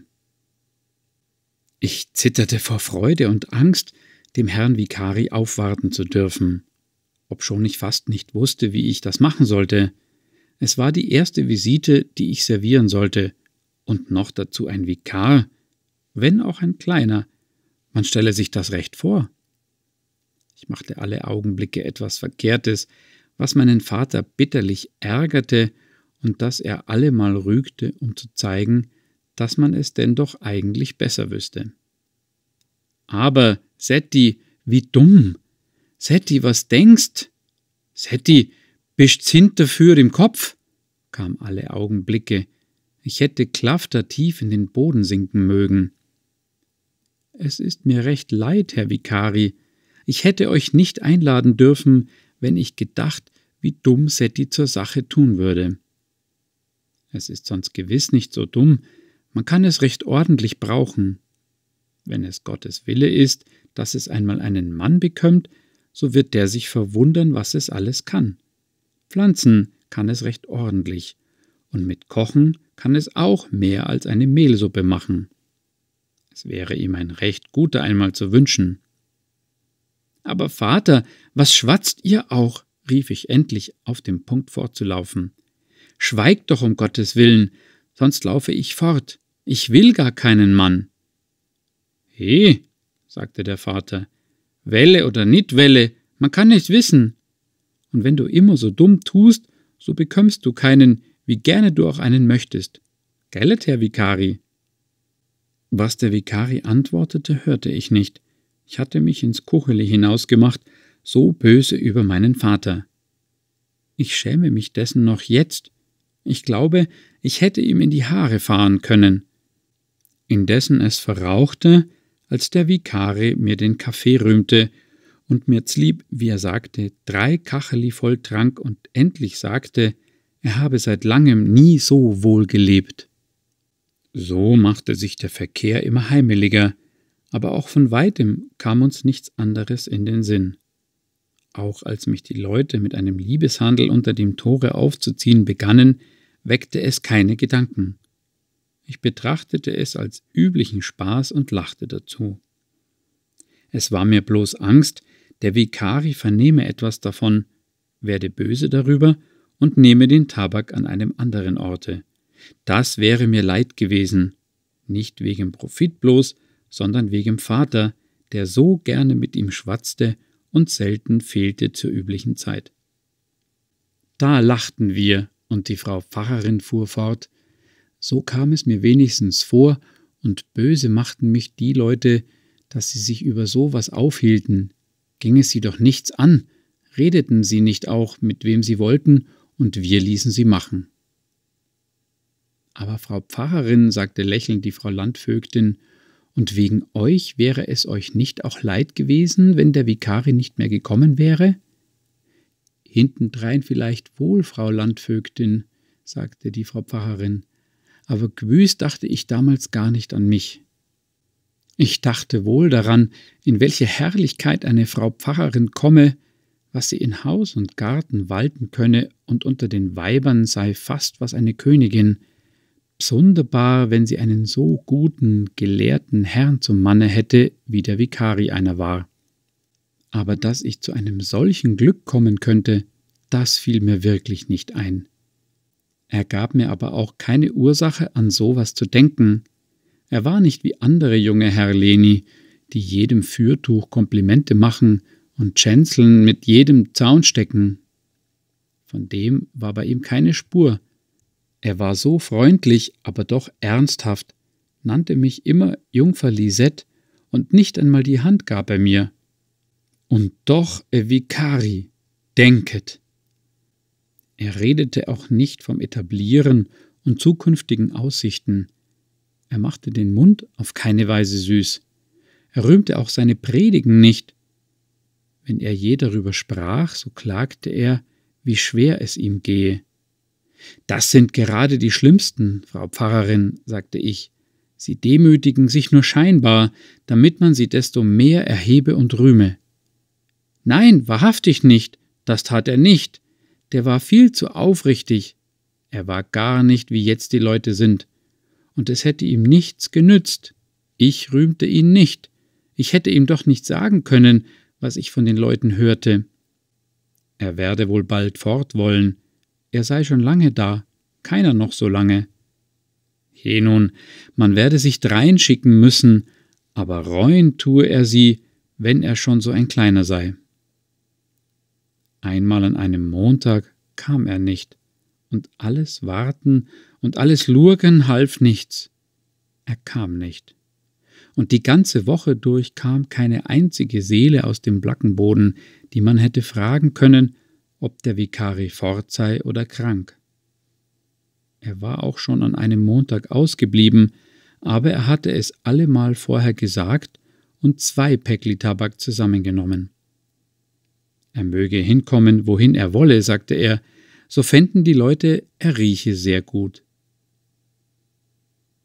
Das war eine lange Woche, und was da einem in Sinn kam, was begegnet sein könnte, und wäger dem Vater so gut als mir. Er sagte oft, wenn das Laufen ihm nicht so zwider, er wollte nicht so lange im Gwunder sein. Am nächsten Montag machte es gar so schlecht Wetter. Da werde er per se nicht kommen, dachten wir. Indessen auf die Vorsorge machte ich etwas früher zum Mittag wie gewöhnlich, damit alles abweg sei und ich noch Zeit hätte, mich ein wenig zweg zu machen, wenn er kommen sollte. Nicht zu putzen, bewahre, da hätte mir der Vater ein schönes Kapitel gelesen. Aber bei der Arbeit, welche mir oblag und am Morgen nach fünf Uhr anfing, war man des Mittags nicht mehr wie aus einem Druckli. Allweg schadete es nicht, wenn man ein wenig Strähl und Wasser brauchte und anfällig das Halstuch, welches bereits den Sonntag mitgemacht, aufpflanzte. Während wir am besten beim Essen waren, klopfte es an der Türe, was bei dem Verkehr, den wir hatten, wo gar oft jemand etwas zum Hüten gab, oft geschah. Der Vater rief Ume Üne, und hereinkam der Herr Vikari, ganz schwarz angezogen, in vollem Staat, mit dem Dreieck auf dem Kopf, wie es damals bei Feierlichkeiten noch üblich war. Mein Gott, wie erschrak ich! Ich meinte, ich müsse unter den Tisch. Es war mir gar nicht mehr zu helfen, Nitz Weg macht und der armselig Tisch, an dem wir saßen. Mein Gott, es wird mir jetzt fast schwarz vor Augen und Katzenangst, wenn ich daran denke. Er machte Entschuldigungen, dass er störe, aber er habe in einer wichtigen Angelegenheit mit uns zu reden und daher einen Augenblick gewählt, wo er uns beisammen finde und ungestört sein Anliegen vorbringen könne. Wir würden gehört haben, dass er Pfarrer geworden sei in Bohnenschüch. Nun, das sei viel gemacht vom Herrn Vikari, dass er die Mühe nehme, uns dieses selbsten zu annoncieren. Aber nun kam es noch ganz anders, dass Vater und ich ganz verschmeiert wurden. Er begehrte mich zur Frau und tat so schön dar, wie er eine Weise sei, verlassen von der Welt, und er eine Frau haben müsse, welche ihm Vater und Mutter sei und alles in allem, dass ich noch heute weinen muss, wenn ich daran denke. Nun erzählte er, wie er in mir alles in allem gefunden, dass der Vater laut aufweinte wie ein Kind, dass ich nicht wusste, werde es ihm übel oder nicht, und, als er aufhörte, keins von uns ihm antworten konnte. Also ich, das arm Torwärter Meitschi, sollte Frau Pfarrerin und Burgerin von Bern werden. Das war zu groß für meinen Kopf. Es wollte gar nicht als Wahrheit hinein. Es kam mir vor als geträumt. Der Vater konnte zuerst antworten und redete von der Ehre und unserer Armut. Nur ich in meiner Angst jammerte, ich könnte den Vater nicht verlassen, wer das Lädeli hüten sollte, wenn ich fortginge. Da kam das Beste noch nach. Wenn es nur das sei, was die Jungfer Lisette hätte, so habe er daran auch gedacht, und das sei leicht beseitigt. Er möchte den Vorschlag machen, dass mein Vater mit uns käme, es wäre ihm ein großer Dienst, wenn er sich dazu verstehen könnte. Es sei etwas Land zur Pfarrei, mit dem wüsste er nichts anzufangen. Überhaupt verstehe er nichts vom Landleben und sehe erst jetzt ein, wie wichtig es sei für den Pfarrer, wenn er wüsste, was üblich und bräuchlich sei. Mein Vater verstehe das aus dem Fundament, wie er sehe, da könnte er ihm äußerst behilflich sein. Denn dass er etwa als Knecht oder Tagelöhner einstehen solle, daran denke er nicht von ferne, davon solle er überzeugt sein. Das war wirklich eine Leiter zum dritten Himmel. Was wir darauf antworteten, weiß ich wirklich nicht mehr.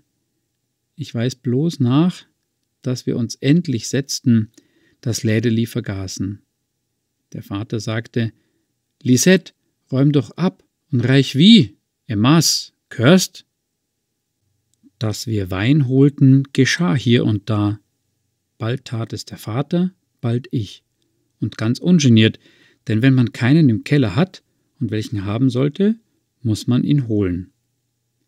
Diesmal dachte der Vater nicht daran zu gehen, wie unendlich gerne ich es auch gehabt.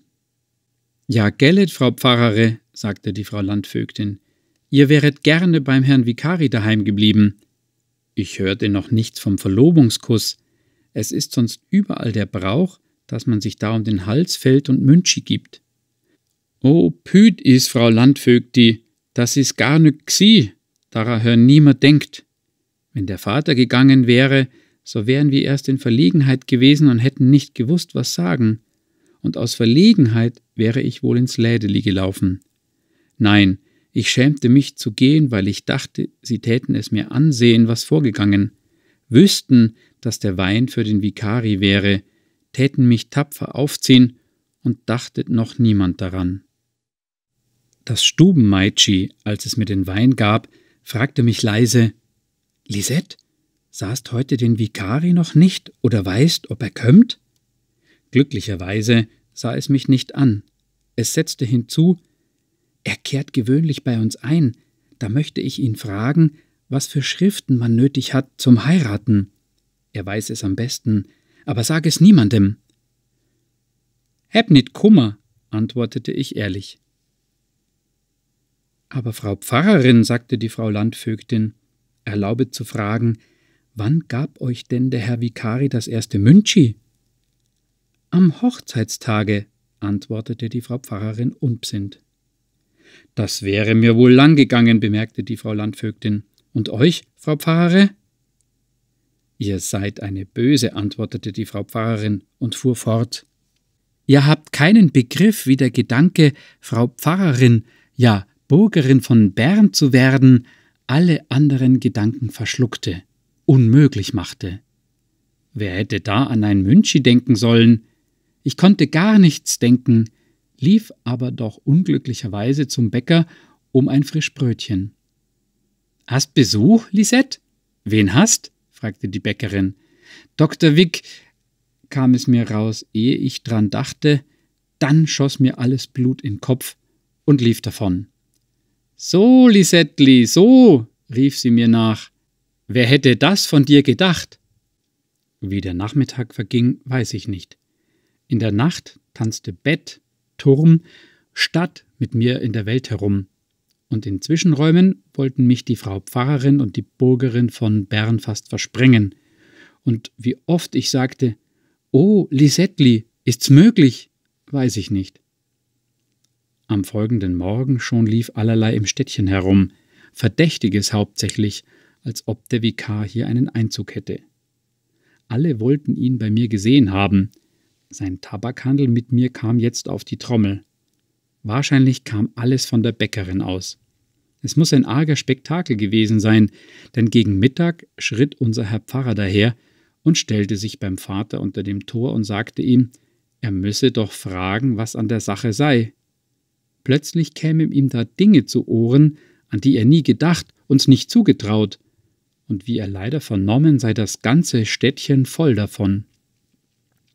Er solle ihm jetzt aufrichtig sagen, ob es wahr sei, dass ich ein Zög mit dem Vikari habe, ihn locke, dass er Xotte und Brate bei uns sei. Als ihm der Vater nun sagte, das sei nicht wahr, aber der Vikari sei Pfarrer geworden in Bohnegschüch und ich seit gestern unerwartet seine Braut, da verstundete er und wollte es fast nicht glauben.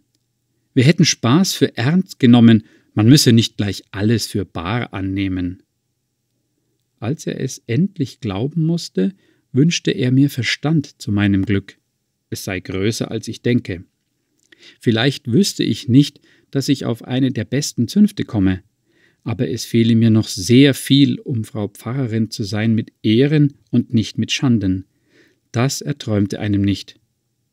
Sie wollten mir gerne verhelfen zu allem, was ich nötig hätte. Ich solle forthin zu ihnen kommen, so oft es mich freue. Daran aber hätte er wirklich nicht gedacht. Es heißt nicht umsonst, stille Wasser seien tief. Was es erst jetzt für einen Lärm im Städtchen gab, kann man sich denken. Aber alle Leute schienen mein Glück mir zu gönnen, selbst im Pfarrhause, wo doch sieben Töchtern waren. Alles war so gut gegen mich, es war, als ob das ganze Städtchen mein Glück sich als eine Ehre anrechne. Man lud mich allenthalben ein, und ich musste immer wieder erzählen, wie alles zu und her gegangen, vom ersten Päckli Tabak an bis auf den letzten Tag. Der Vater meinte, die Leute trieben das Gespött mit mir, aber ich glaubte es ihm nicht. Ich hätte nicht gewusst, warum sie das tun sollen. Das war eine Art Welschland für mich, wo ich einen Begriff erhielt, wie man Besuche machte oder Besuche empfing. Bei meinem Vater unterm Tor hatte ich nicht Gelegenheit gehabt, hierin Erfahrungen zu machen. Leider war diese Zeit sehr kurz. Wir mussten pressieren mit dem Aufziehen und hatten so viel zu tun mit Raten und Anschaffen. Da kam uns der Vater sehr kommod. Er hatte Verstand in der Sache und sparte uns viel Geld. Der Herr Vikari und ich waren lötige Kinder, und des Herrn Pfarrers in Blackenboden halfen ihm auch nicht. Sie waren schrecklich böse über diese Heirat. Sie sagten, es sei eine Schande für die ganze Stadt Bern und jeden Bürger, dass ein Bürger die Frechheit hätte, ein so gemein Mensch als Bürgerin herzuschleppen. Das soll ihm nicht vergessen werden, auf Kindskinder nicht.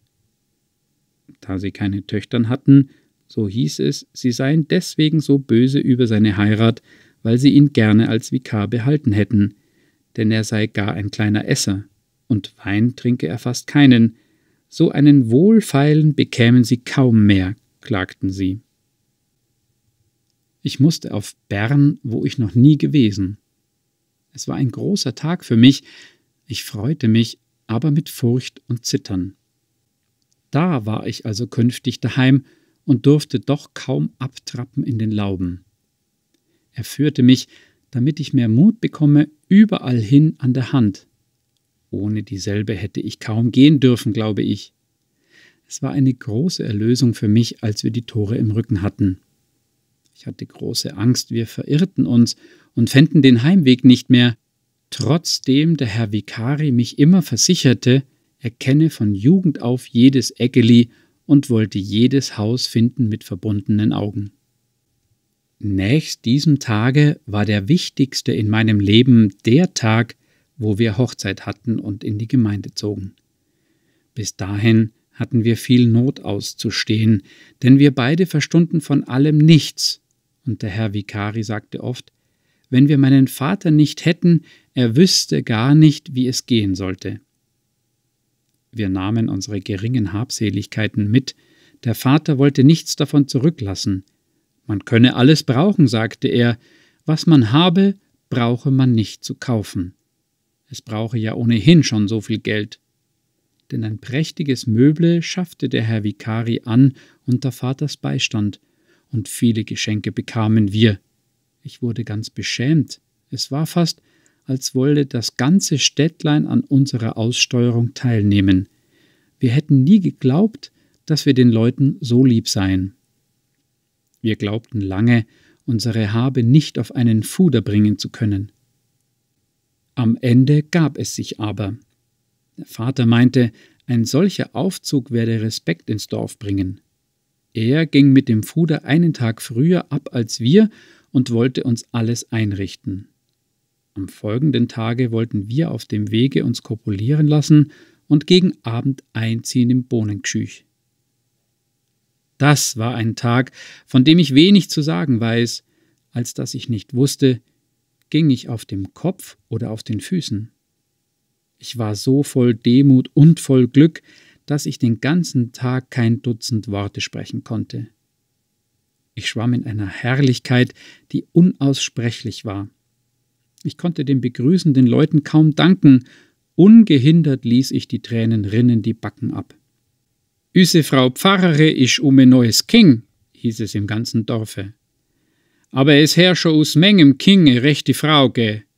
Sie isch emmel nit hochmütig. Oh nein, hochmütig war ich nicht aber es war, als sei mir der Himmel aufgegangen und ich mitten darin. Man lachte viel über uns, aber wir merkten es nicht.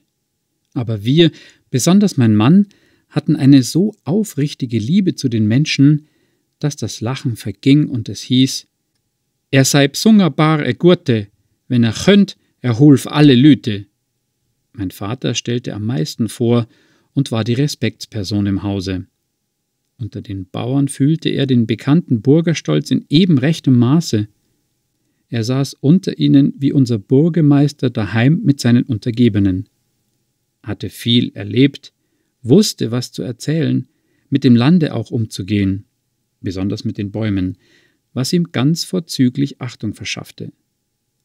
Wir lebten sehr einsam, das Dorf lag abgelegen, und besonderen Verkehr hatten wir auch mit den anderen Pfarrern nicht. Mein Mann war schüchtern und ich noch mehr. Ich begreife, dass man nichts mit uns zu machen wusste. Wenn wir auch nicht gerade dumm waren, so wussten wir es doch nicht zu zeigen, dass wir es nicht waren. Aber wir lebten nicht desto weniger glücklich, und namentlich mein Mann an der Gemeinde, der Vater an den Bäumen, ich am Garten.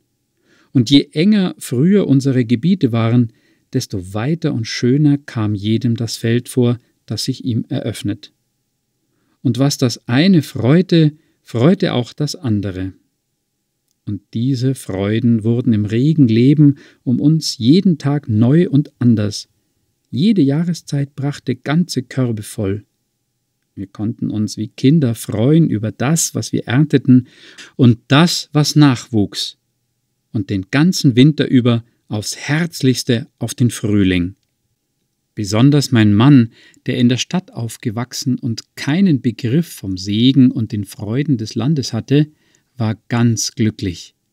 Ein neues Leben war ihm aufgegangen, und dazu kam das Gefühl, dass er doch auch etwas sei, unabhängig und geehrt und geliebt.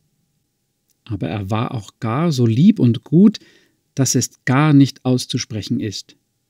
Er hatte es nicht so, wie ich oft hörte, dass die, welche am armseligsten aufgewachsen, später am meisterlosigsten seien und fast nicht es ihnen zu treffen, dass sie zufrieden seien. Er sagte so oft, er hätte nie gedacht, dass man so glücklich sein könne und am allerwenigsten, dass er es je werde. Mein Vater war es nicht weniger als mein Mann, aber er schrieb nicht nur sein Glück, sondern unser aller Glück ihm zu. Man sollte sehen, wie es ginge ohne ihn. Wir wären arme Tröpfe und möchten nicht fahren. Und wir glaubten es. Wir glaubten alle, dass wir ein Glück über verdienen hätten, absonderlich ich. Ich war oft so kindisch, dass ich mich schämen musste und dann dachte ich wieder, wir hätten ein viel zu großes Glück. So könne es nicht bleiben. Wir würden es büßen müssen. Dann wurde ich fast schwermütig und ich musste oft daran denken, wo der liebe Gott anfangen werde mit seinen Gerichten. So arm wir eigentlich waren und anderen vorkommen mochten, für so reich hielten wir uns, denn keins von uns hatte je so viel Geld gehabt und da wir in gewohnter Armütigkeit fortlebten, keine fremden Leute hatten, die Leute keine Ansprüche an uns machen zu dürfen glaubten, so hatten wir immer übrig und schienen uns selbst im Glücke zu schwimmen. Glücklichere Leute hätte man sicher weit umher nicht antreffen können, als wir waren, und zwar mehrere Jahre lang. Da starb zuerst mein Vater sehr rasch und unerwartet. Er hatte seine Rüstigkeit so bewahrt, dass wir gar nicht dachten, er könnte uns sterben. Er machte uns eine große Lücke ins Leben, er fehlte uns allenthalben. Dazu hatten wir keine Kinder, kamen uns gar so einsam und verlassen vor, machten uns nach und nach ein Gewissen daraus, so alleine für uns zu leben, unbelastet, während andere unter ihrer Bürde fast erliegen mussten. Wir meinten, Gott meine es auch so und durch den Tod meines Vaters habe er uns einen Fingerzeig geben wollen. Wir freuten uns recht kindlich, als wir endlich eins fanden, welches uns beiden gefiel. Einen schönen Knaben mit weißem Kruselhaar und freuten uns schon damals sehr auf den Gotteslohn, den wir ob ihm verdienen wollten. Und umso mehr, da das Kind aus einer verwahrlosten, liederlichen Familie kam. Du arms liebst Tröpfli, wie gut ist's dir gegangen, dass du in andere Hände gekommen bist, wo du ein rechter Mensch werden kannst. Gott und den Menschen lieb. Wir hatten eine unaussprechliche Freude an dem Kinde. Es war unser klein Herrgöttlein. Wenn mein Mann es nicht an der Hand hatte, trug ich es auf den Armen. Sein Wille galt unumschränkt, und was wir dazu noch ersinnen konnten, taten wir. Ja, wir vergaßen beinahe Blumen und Bäume ob ihm. Es konnten Lieblingsäpfel reifen, wir merkten es nicht.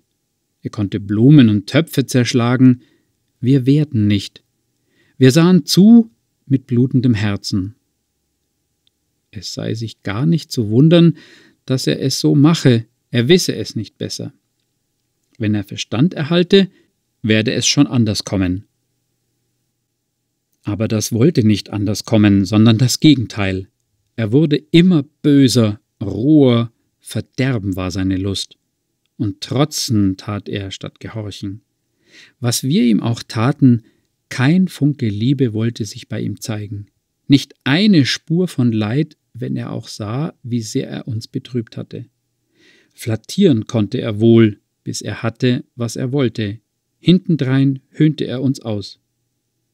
Wir hofften lange, lange, es komme noch besser und sprachen zu, aber es kam nicht besser. Hand legen an ihn durfte keins von uns, auch als es uns schien, es wäre vielleicht gut. Im Dorfe konnte er auch machen, was er wollte, niemand sagte ihm die Wahrheit.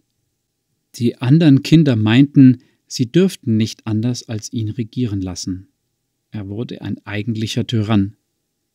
Wir jammerten zusammen, wir weinten aus Erbarmen als wie über ein eigenes Kind auf bösen Wegen. Aber was machen? Er war hart wie Stein, mit Worten brachte man nichts ab. Und wer wollte ihn schlagen? Er sah unser Leid, aber er achtete sich dessen nicht das Mindeste. Wir verheimlichten eins dem andern, was wir wussten, um den Verdruss einander nicht schwerer zu machen.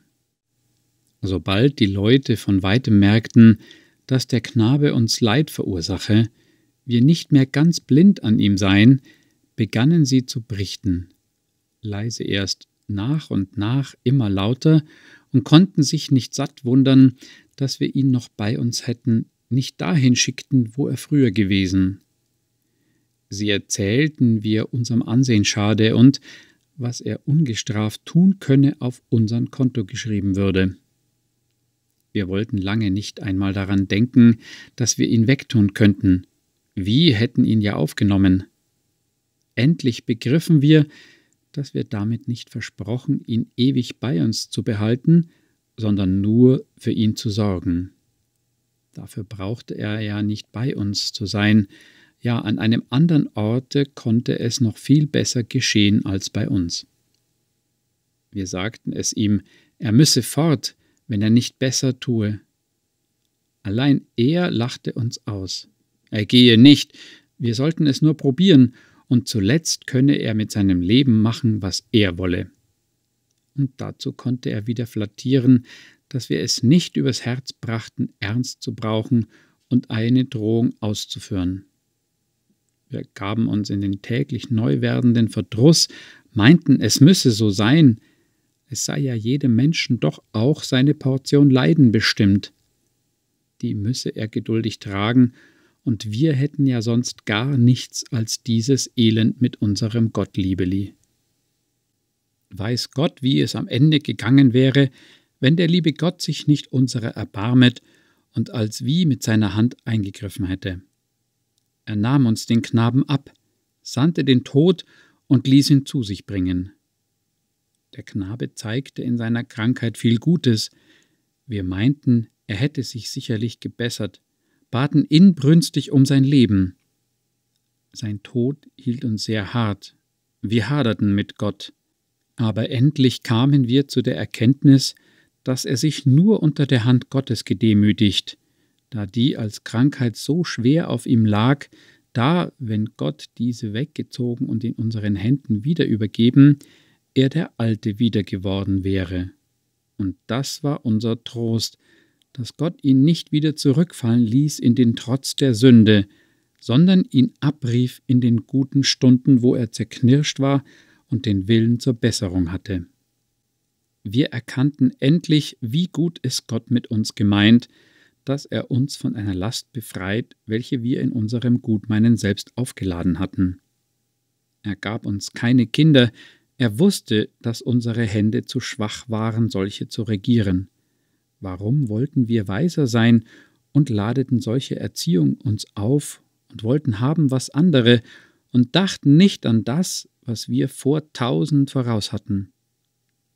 Und doch wollte er nicht, dass um unserer Torheit willen eine Seele verloren gehe, ließ ihn nicht in der Verhärtung sterben, nicht zum Verbrecher reif werden, stieß uns nicht auf Lebzeiten von glühendem Stachel ins Herz, dass wir schuld an der Verderben einer Seele seien. Das war die bitterste Zeit, die wir hatten, wir sollten die Unvollkommenheit dieses Lebens eben auch so recht empfinden nach unserem Verdienen. Darauf flossen unsere Tage wieder dahin, friedlich und lieblich, und jeder brachte uns etwas Gutes und meist etwas Frohes. Wir waren in der Besorgung großer und kleiner Pflanzen recht geschickt geworden, hatten viel Glück dabei und dieneten vielen Leuten weit umher. So floss eine Reihe von Jahren fast unbemerkt dahin. Wir wurden nachgerade alt, als mein Mann plötzlich starb. Daran hatte ich nicht gedacht. Er war nicht krank gewesen, kaum unpässlicher als sonst. Er döckterlete gerne, wahrscheinlich weil er kränklich war von Jugend auf.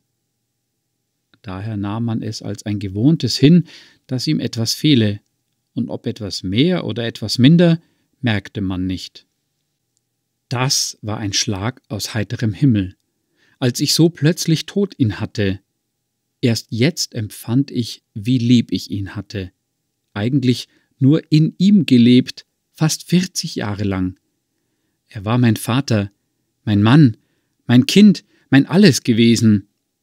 Und doch ermaß ich meinen Verlust noch nicht, wusste nicht, was mit ihm alles zerrissen war und zu Grabe ging. Das Dörfchen war meine Welt geworden, außerhalb demselben kannte ich niemand mehr. All meine Hoffnung, mein Trost war, in demselben bleiben zu können, bei meinen Bäumen, meinem Kirchlein, in der Nähe von dem, das mir lieb war, bei den ganzen Leuten im Dorfe, bei denen mir so lange so wohl war. Mit einem einzigen Stübchen wollte ich Vorlieb nehmen, und gerade eins, wie ich es wünsche, wusste ich. Vermögen hatten wir keines zusammengebracht, anfangs und im Leben nicht. Wir hatten wenig gebraucht für uns, aber als die Leute das merkten, so brauchten sie desto mehr, desto nötlicher, und wir gaben beide gerne und behielten auf diese Weise nichts für uns. Als alles Überflüssige verkauft war, blieb eine kleine Summe, Zudem hatte ich Rechte in zwei Witwenstiftungen, aus deren Ertrag ich prächtig zu leben hoffte. Dem Abgeordneten der Zunft war das nicht recht. Er gab mir ziemlich unverblümt zu verstehen, ich sei eine dumme Frau und verstehe das Ding nicht. Ich wüsste nicht, was alles da hinten bleibe, wenn ich nicht mehr Frau Pfarrerin sei und alles kaufen müsse. Und die Burgernutzungen, welche ich aber nur bekomme, wenn ich in Bern wohne, seien auch etwas zu rechnen. Aber es war mir, als sollte ich sterben, wenn man mir von Weggehen redete. Darum hatte ich furchtsame Person den Mut, mich dem Wegziehen zu widersetzen, dem grimmigen Gesichte des Herrn Waisenvogts trotz. Probiert's meinetwegen, sagte er endlich. Ihr werdet es bald erfahren, wer Recht hat. Er hatte Recht. Ich dachte nicht, was mir mit meinem Manne alles begraben wurde. Den neuen Pfarrersleuten kam ich als dumme alte Frau vor, mit der man nichts zu reden wüsste, von der man lieber wollte, sie wäre nicht da. Ich durfte weder im Garten noch im Baumgarten herumgehen, sie waren fremdes Besitztum geworden, man ermunterte mich nicht dazu. Von ferne nur durfte ich sie noch ansehen. Die Leute waren auch anders geworden, fremder, kälter. Es war, als ob sie fürchteten, die Pfarrersleute zu beleidigen, wenn sie gegen mich freundlich wären wie ehedem. Dagegen blieben die Ansprüche die alten, und gegen wen wir früher gut gewesen, meinte das Recht zu haben, immer die gleichen Guttaten von mir zu fordern. Man hielt mich auch für reicher, als ich war. Man ließ sich nicht ausreden, ich hätte geheime Schätze.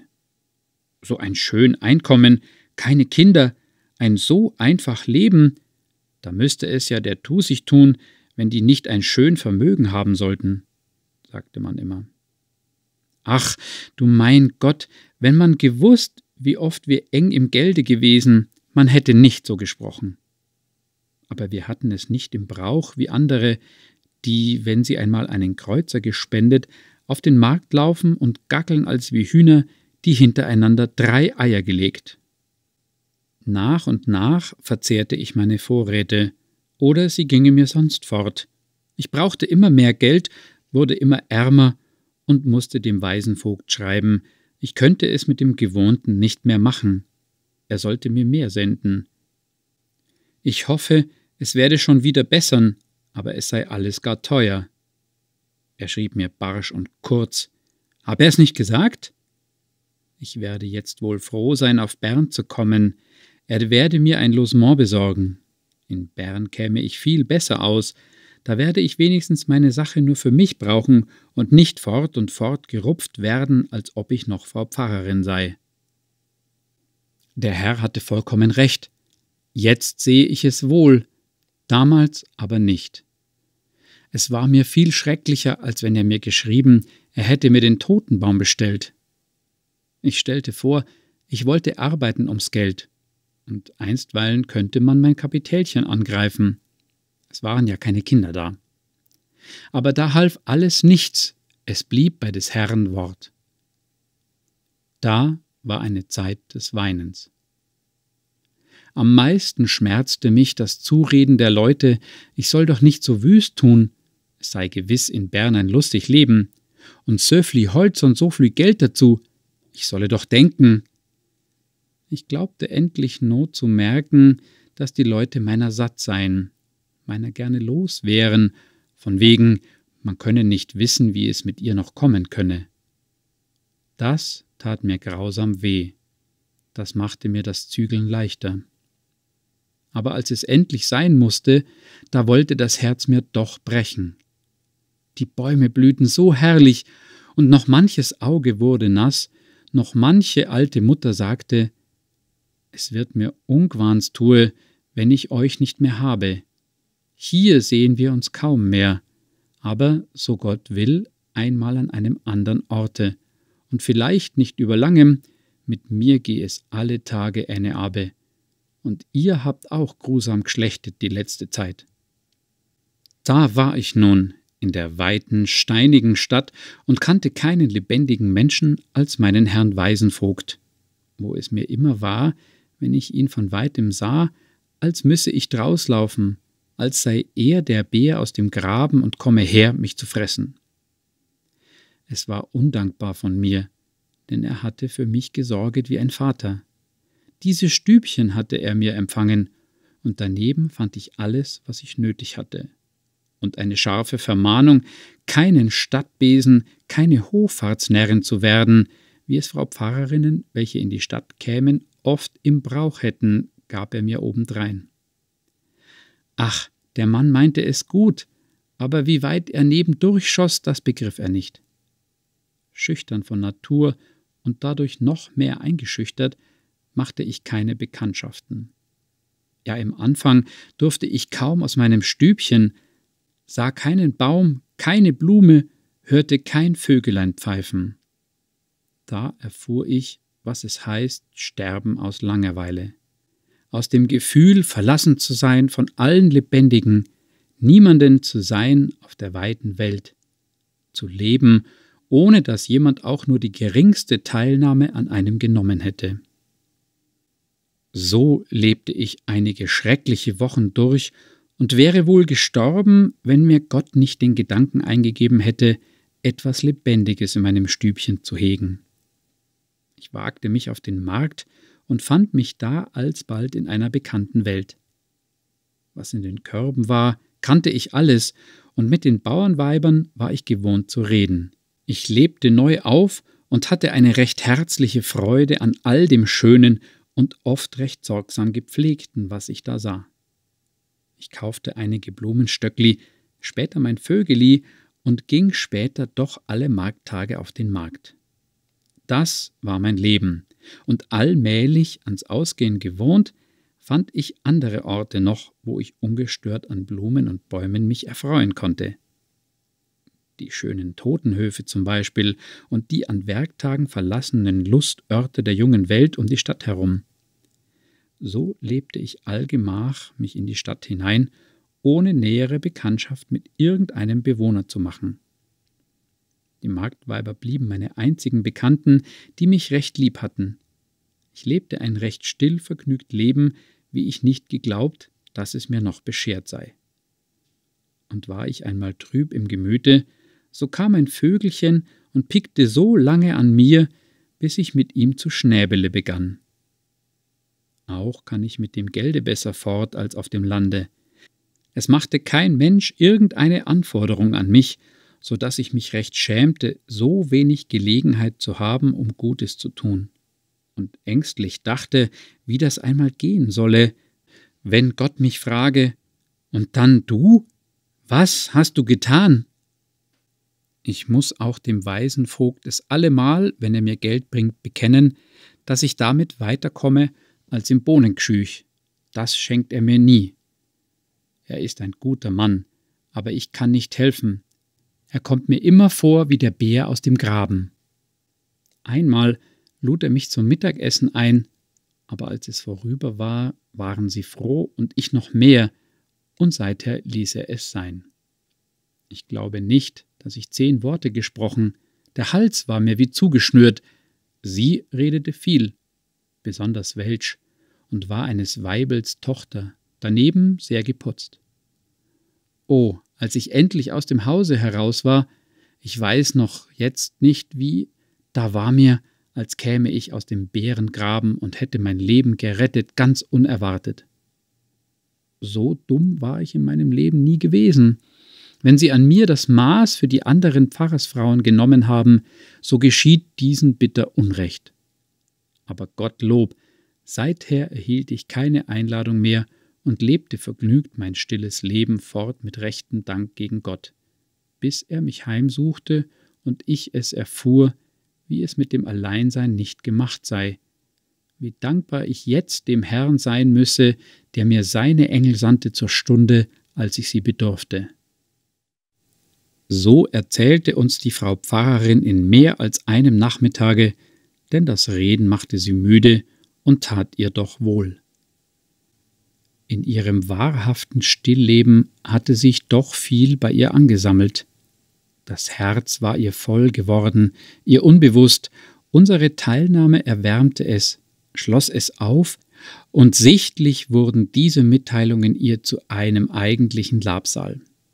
Erst jetzt erhielt ihr Leben eine feste Gestalt, sie konnte es sozusagen ansehen, hatte erst jetzt ihre Freude daran und ward Gott so recht innig dankbar dafür.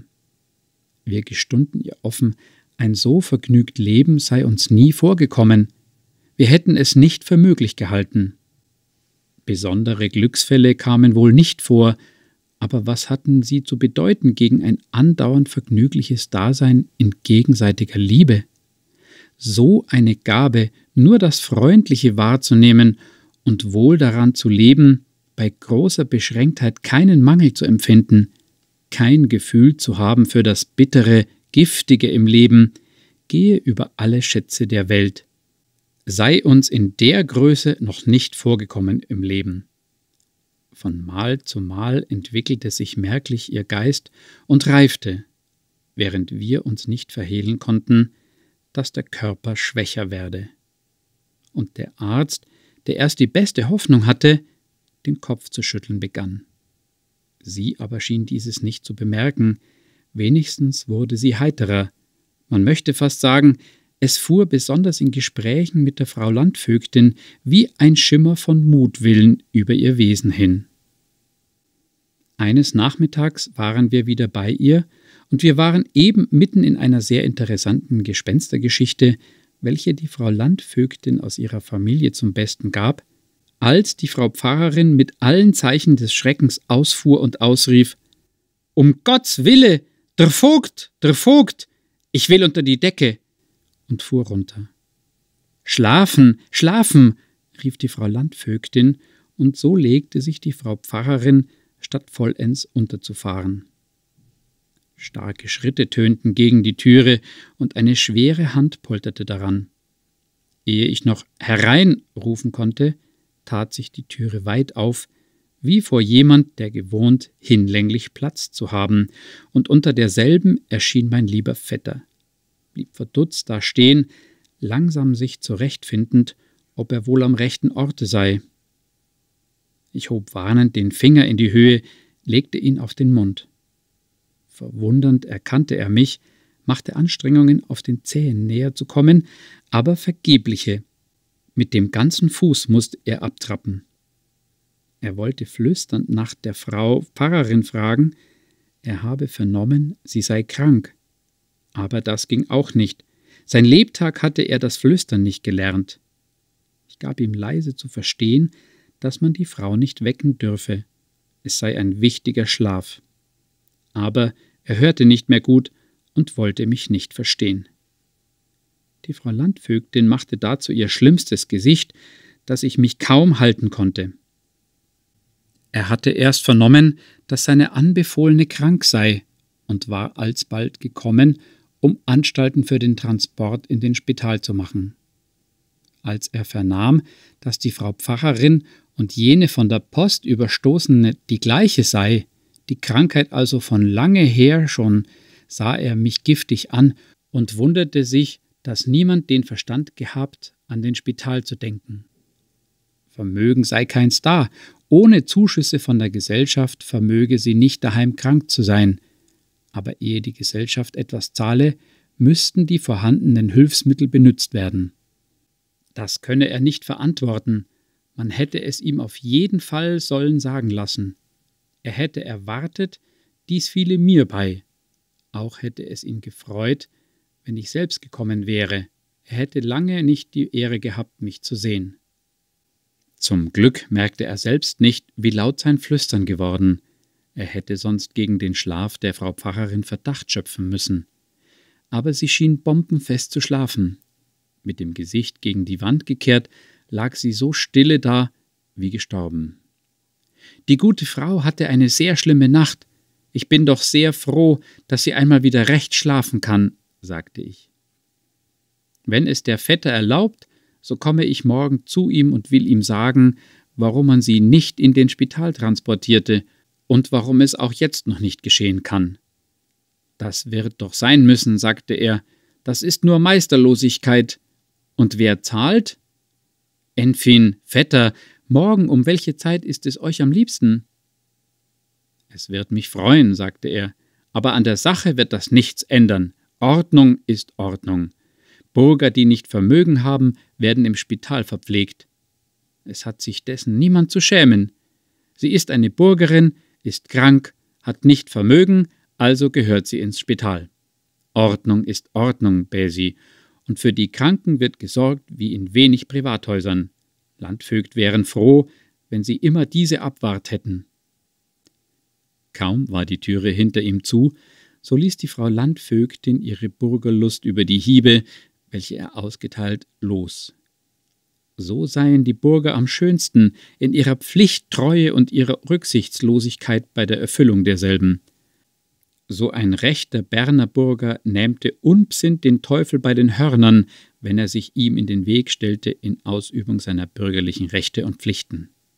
Weinerlich drehte sich die Frau Pfarrerin um, der Mutwillen war ganz verflogen. Sie machte sich ein Gewissen mit der Verstellung, aber um alles in der Welt hätte sie kein Lebenszeichen von sich geben dürfen. Das gebt mir auf mein Gewissen, sagte die Frau Landvögtin, daran trage ich nicht schwer. Späße sind ja wohl erlaubt, besonders wenn sie Ärgernissen vorbeugen, überhaupt Ungutes verhüten, von dem man nachher wollte, es wäre nicht. Am folgenden Morgen machte ich mich auf zum Vetter.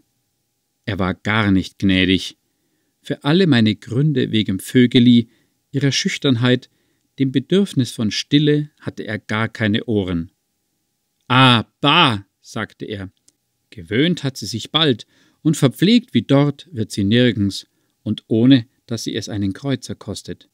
Ich sagte, einstweilen habe sie Geld genug, und lange werde sie es kaum mehr machen. Und wenn sie es noch lange macht und kein Geld mehr da ist? frug er. Spare sie es jetzt, so kann sie es immer noch später brauchen, wenn es gebraucht sein muss, was aber nirgends geschrieben steht.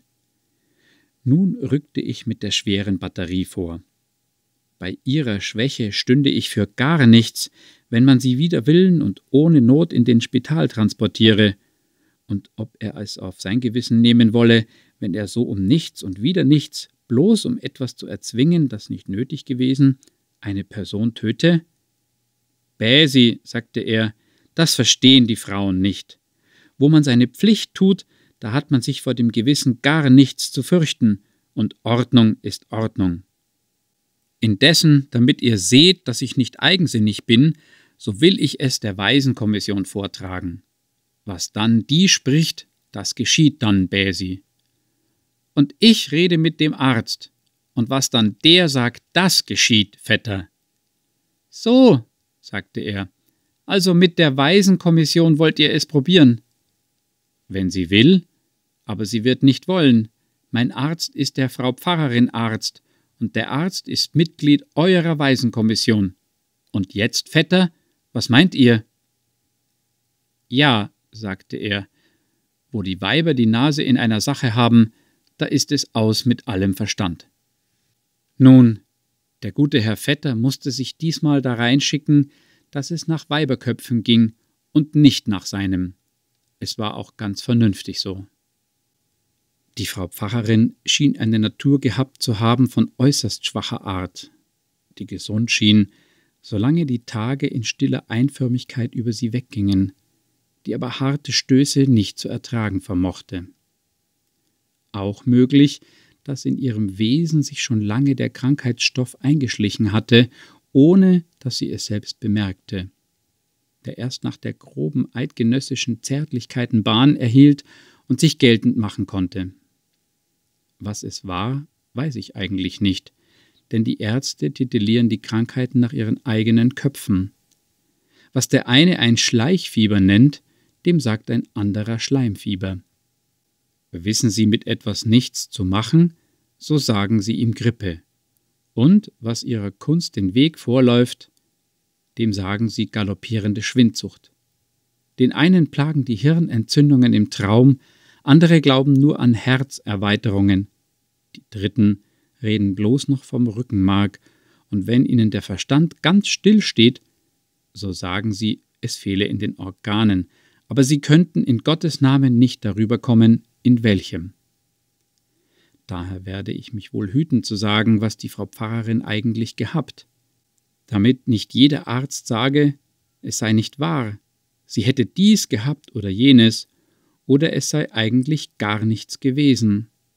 Aber man habe sie offenbar verpfuscht, nur wisse er nicht, wer, ob der Arzt oder die Weiber, wahrscheinlich beide zusammen.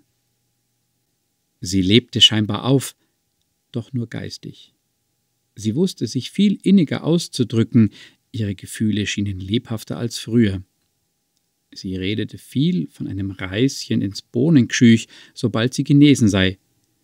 Sie hätte ein recht Heimweh nach ihres guten Manns selig Grab, möchte sehen, wie die Bäume gewachsen, möchte wissen, ob die Leute sie noch kennten, ihrer gedächten wenn ich ihr vom Markte was heimbrachte als Geschenk eines Marktweibes, so freute es sie wie ein Kind. Sie konnte vor Freude darüber weinen. Allgemach verscholl sie aber auf dem Markte. Es wird am Ende alles vergessen, aber um ihr nicht wehe zu tun, ließ sie sie es nicht merken, sondern brachte ihr fort und fort die Andenken. Und ein jedes war eine Labung für sie.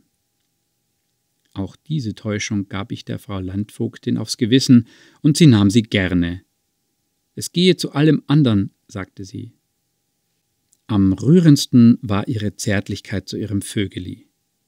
Sobald morgens die Aufwärterin wach war, musste sie es aus dem Käfigt lassen und den ganzen Tag über entfernte es sich wenig von ihrem Bette und flattierte und schnäbelte, wie ich es noch nie gesehen. Sie stürbe nicht ungerne, sagte sie zuweilen, wenn es sein müsste und das Vögeli nicht wäre. Es ginge niemand auf der Welt übel, wenn sie nicht mehr wäre als gerade dem Vögeli. Sie wüsste wohl, wir würden es nicht verhungern lassen und es so gut besorgen, als wir es verstanden. Aber einmal, nun liebe es sie, so könnte es niemand mehr lieben wie sie, daher täte ihr das Sterben fürs Vögeli weh, und in die alte Heimat wäre sie auch gerne noch einmal gewesen. Doch an dem hange sie nicht. Wie der Herr wolle, sie schicke sich gerne darein. Es war der Wille des Herrn, dass sie sterbe. Eines Morgens, als eben die Sonne ihr Stübchen vergoldete, schied sie leise, ohne schweren Atemzug. Bloß das Vögeli, das auf ihrem Kopfe saß, merkte ihr Scheiden, flatterte ängstlich um ihren Kopf herum, setzte sich auf ihre Achsel, schlug, so laut es konnte, seine Triller, pickte dann und zerrte, als ob es sie wecken wolle. Und als es sie nicht wecken konnte, setzte es sich trübselig aufs Hauptkissen, flatterte von Zeit zu Zeit über sie hin, setzte sich, wenn es schon immer so still und unbeweglich sah, wieder ans alte Ort sträubte schon nachmittags sein Gefieder, und als man es mit Sonnenuntergang wie üblich Zädel tragen wollte, war es schon für immer Zädel gegangen. Tot lag es auf ihrer Achsel, wo es im Leben so viel gesessen war. Es war seiner guten Herrin nachgegangen. Ihre Liebe zu missen vermochte es nicht einen Tag lang. So innig hängt wohl selten der Mensch am Menschen, man vermisst einander wohl, aber selten werden die Herzen wahrhaft blutig gerissen, geschweige dass sie sterben. Nun, eine Lücke riss ihr Verlust auch in mein Leben, wie ich sie selten empfunden, und worüber mein Vetter sich nicht wenig ärgerte. Er könne nicht begreifen, was mir da sollte zu Herzen gehen, sagte er. Wir seien ja gar nicht verwandt, nicht einmal von der nämlichen Gesellschaft, nicht manchen Monat dauere unsere Bekanntschaft, und da sei ein Nötlichtun, das nicht natürlich sei, sondern affektiert, unnatürlich, sentimental. Die Herren von der Waisenhauskommission fänden es auch so und hätten sich sehr aufgehalten darüber. Beim Mangel an allen Verwandten nahm niemand von ihrem Tode Notiz als die Herren von der Waisenhauskommission. Sie füllten auch die Kutsche, welche hinter ihrem Sarge herfuhr. Ihr Scheiden machte also keinen Lärm auf Erden, ging ganz stille vorüber. Desto größere Freude wird im Himmel gewesen sein bei den Engeln, die schon lange sie kannten und liebten, als sie zu ihnen kam, mit ihnen den Herrn zu loben und zu preisen, wie es nur die reinen Seelen vermögen.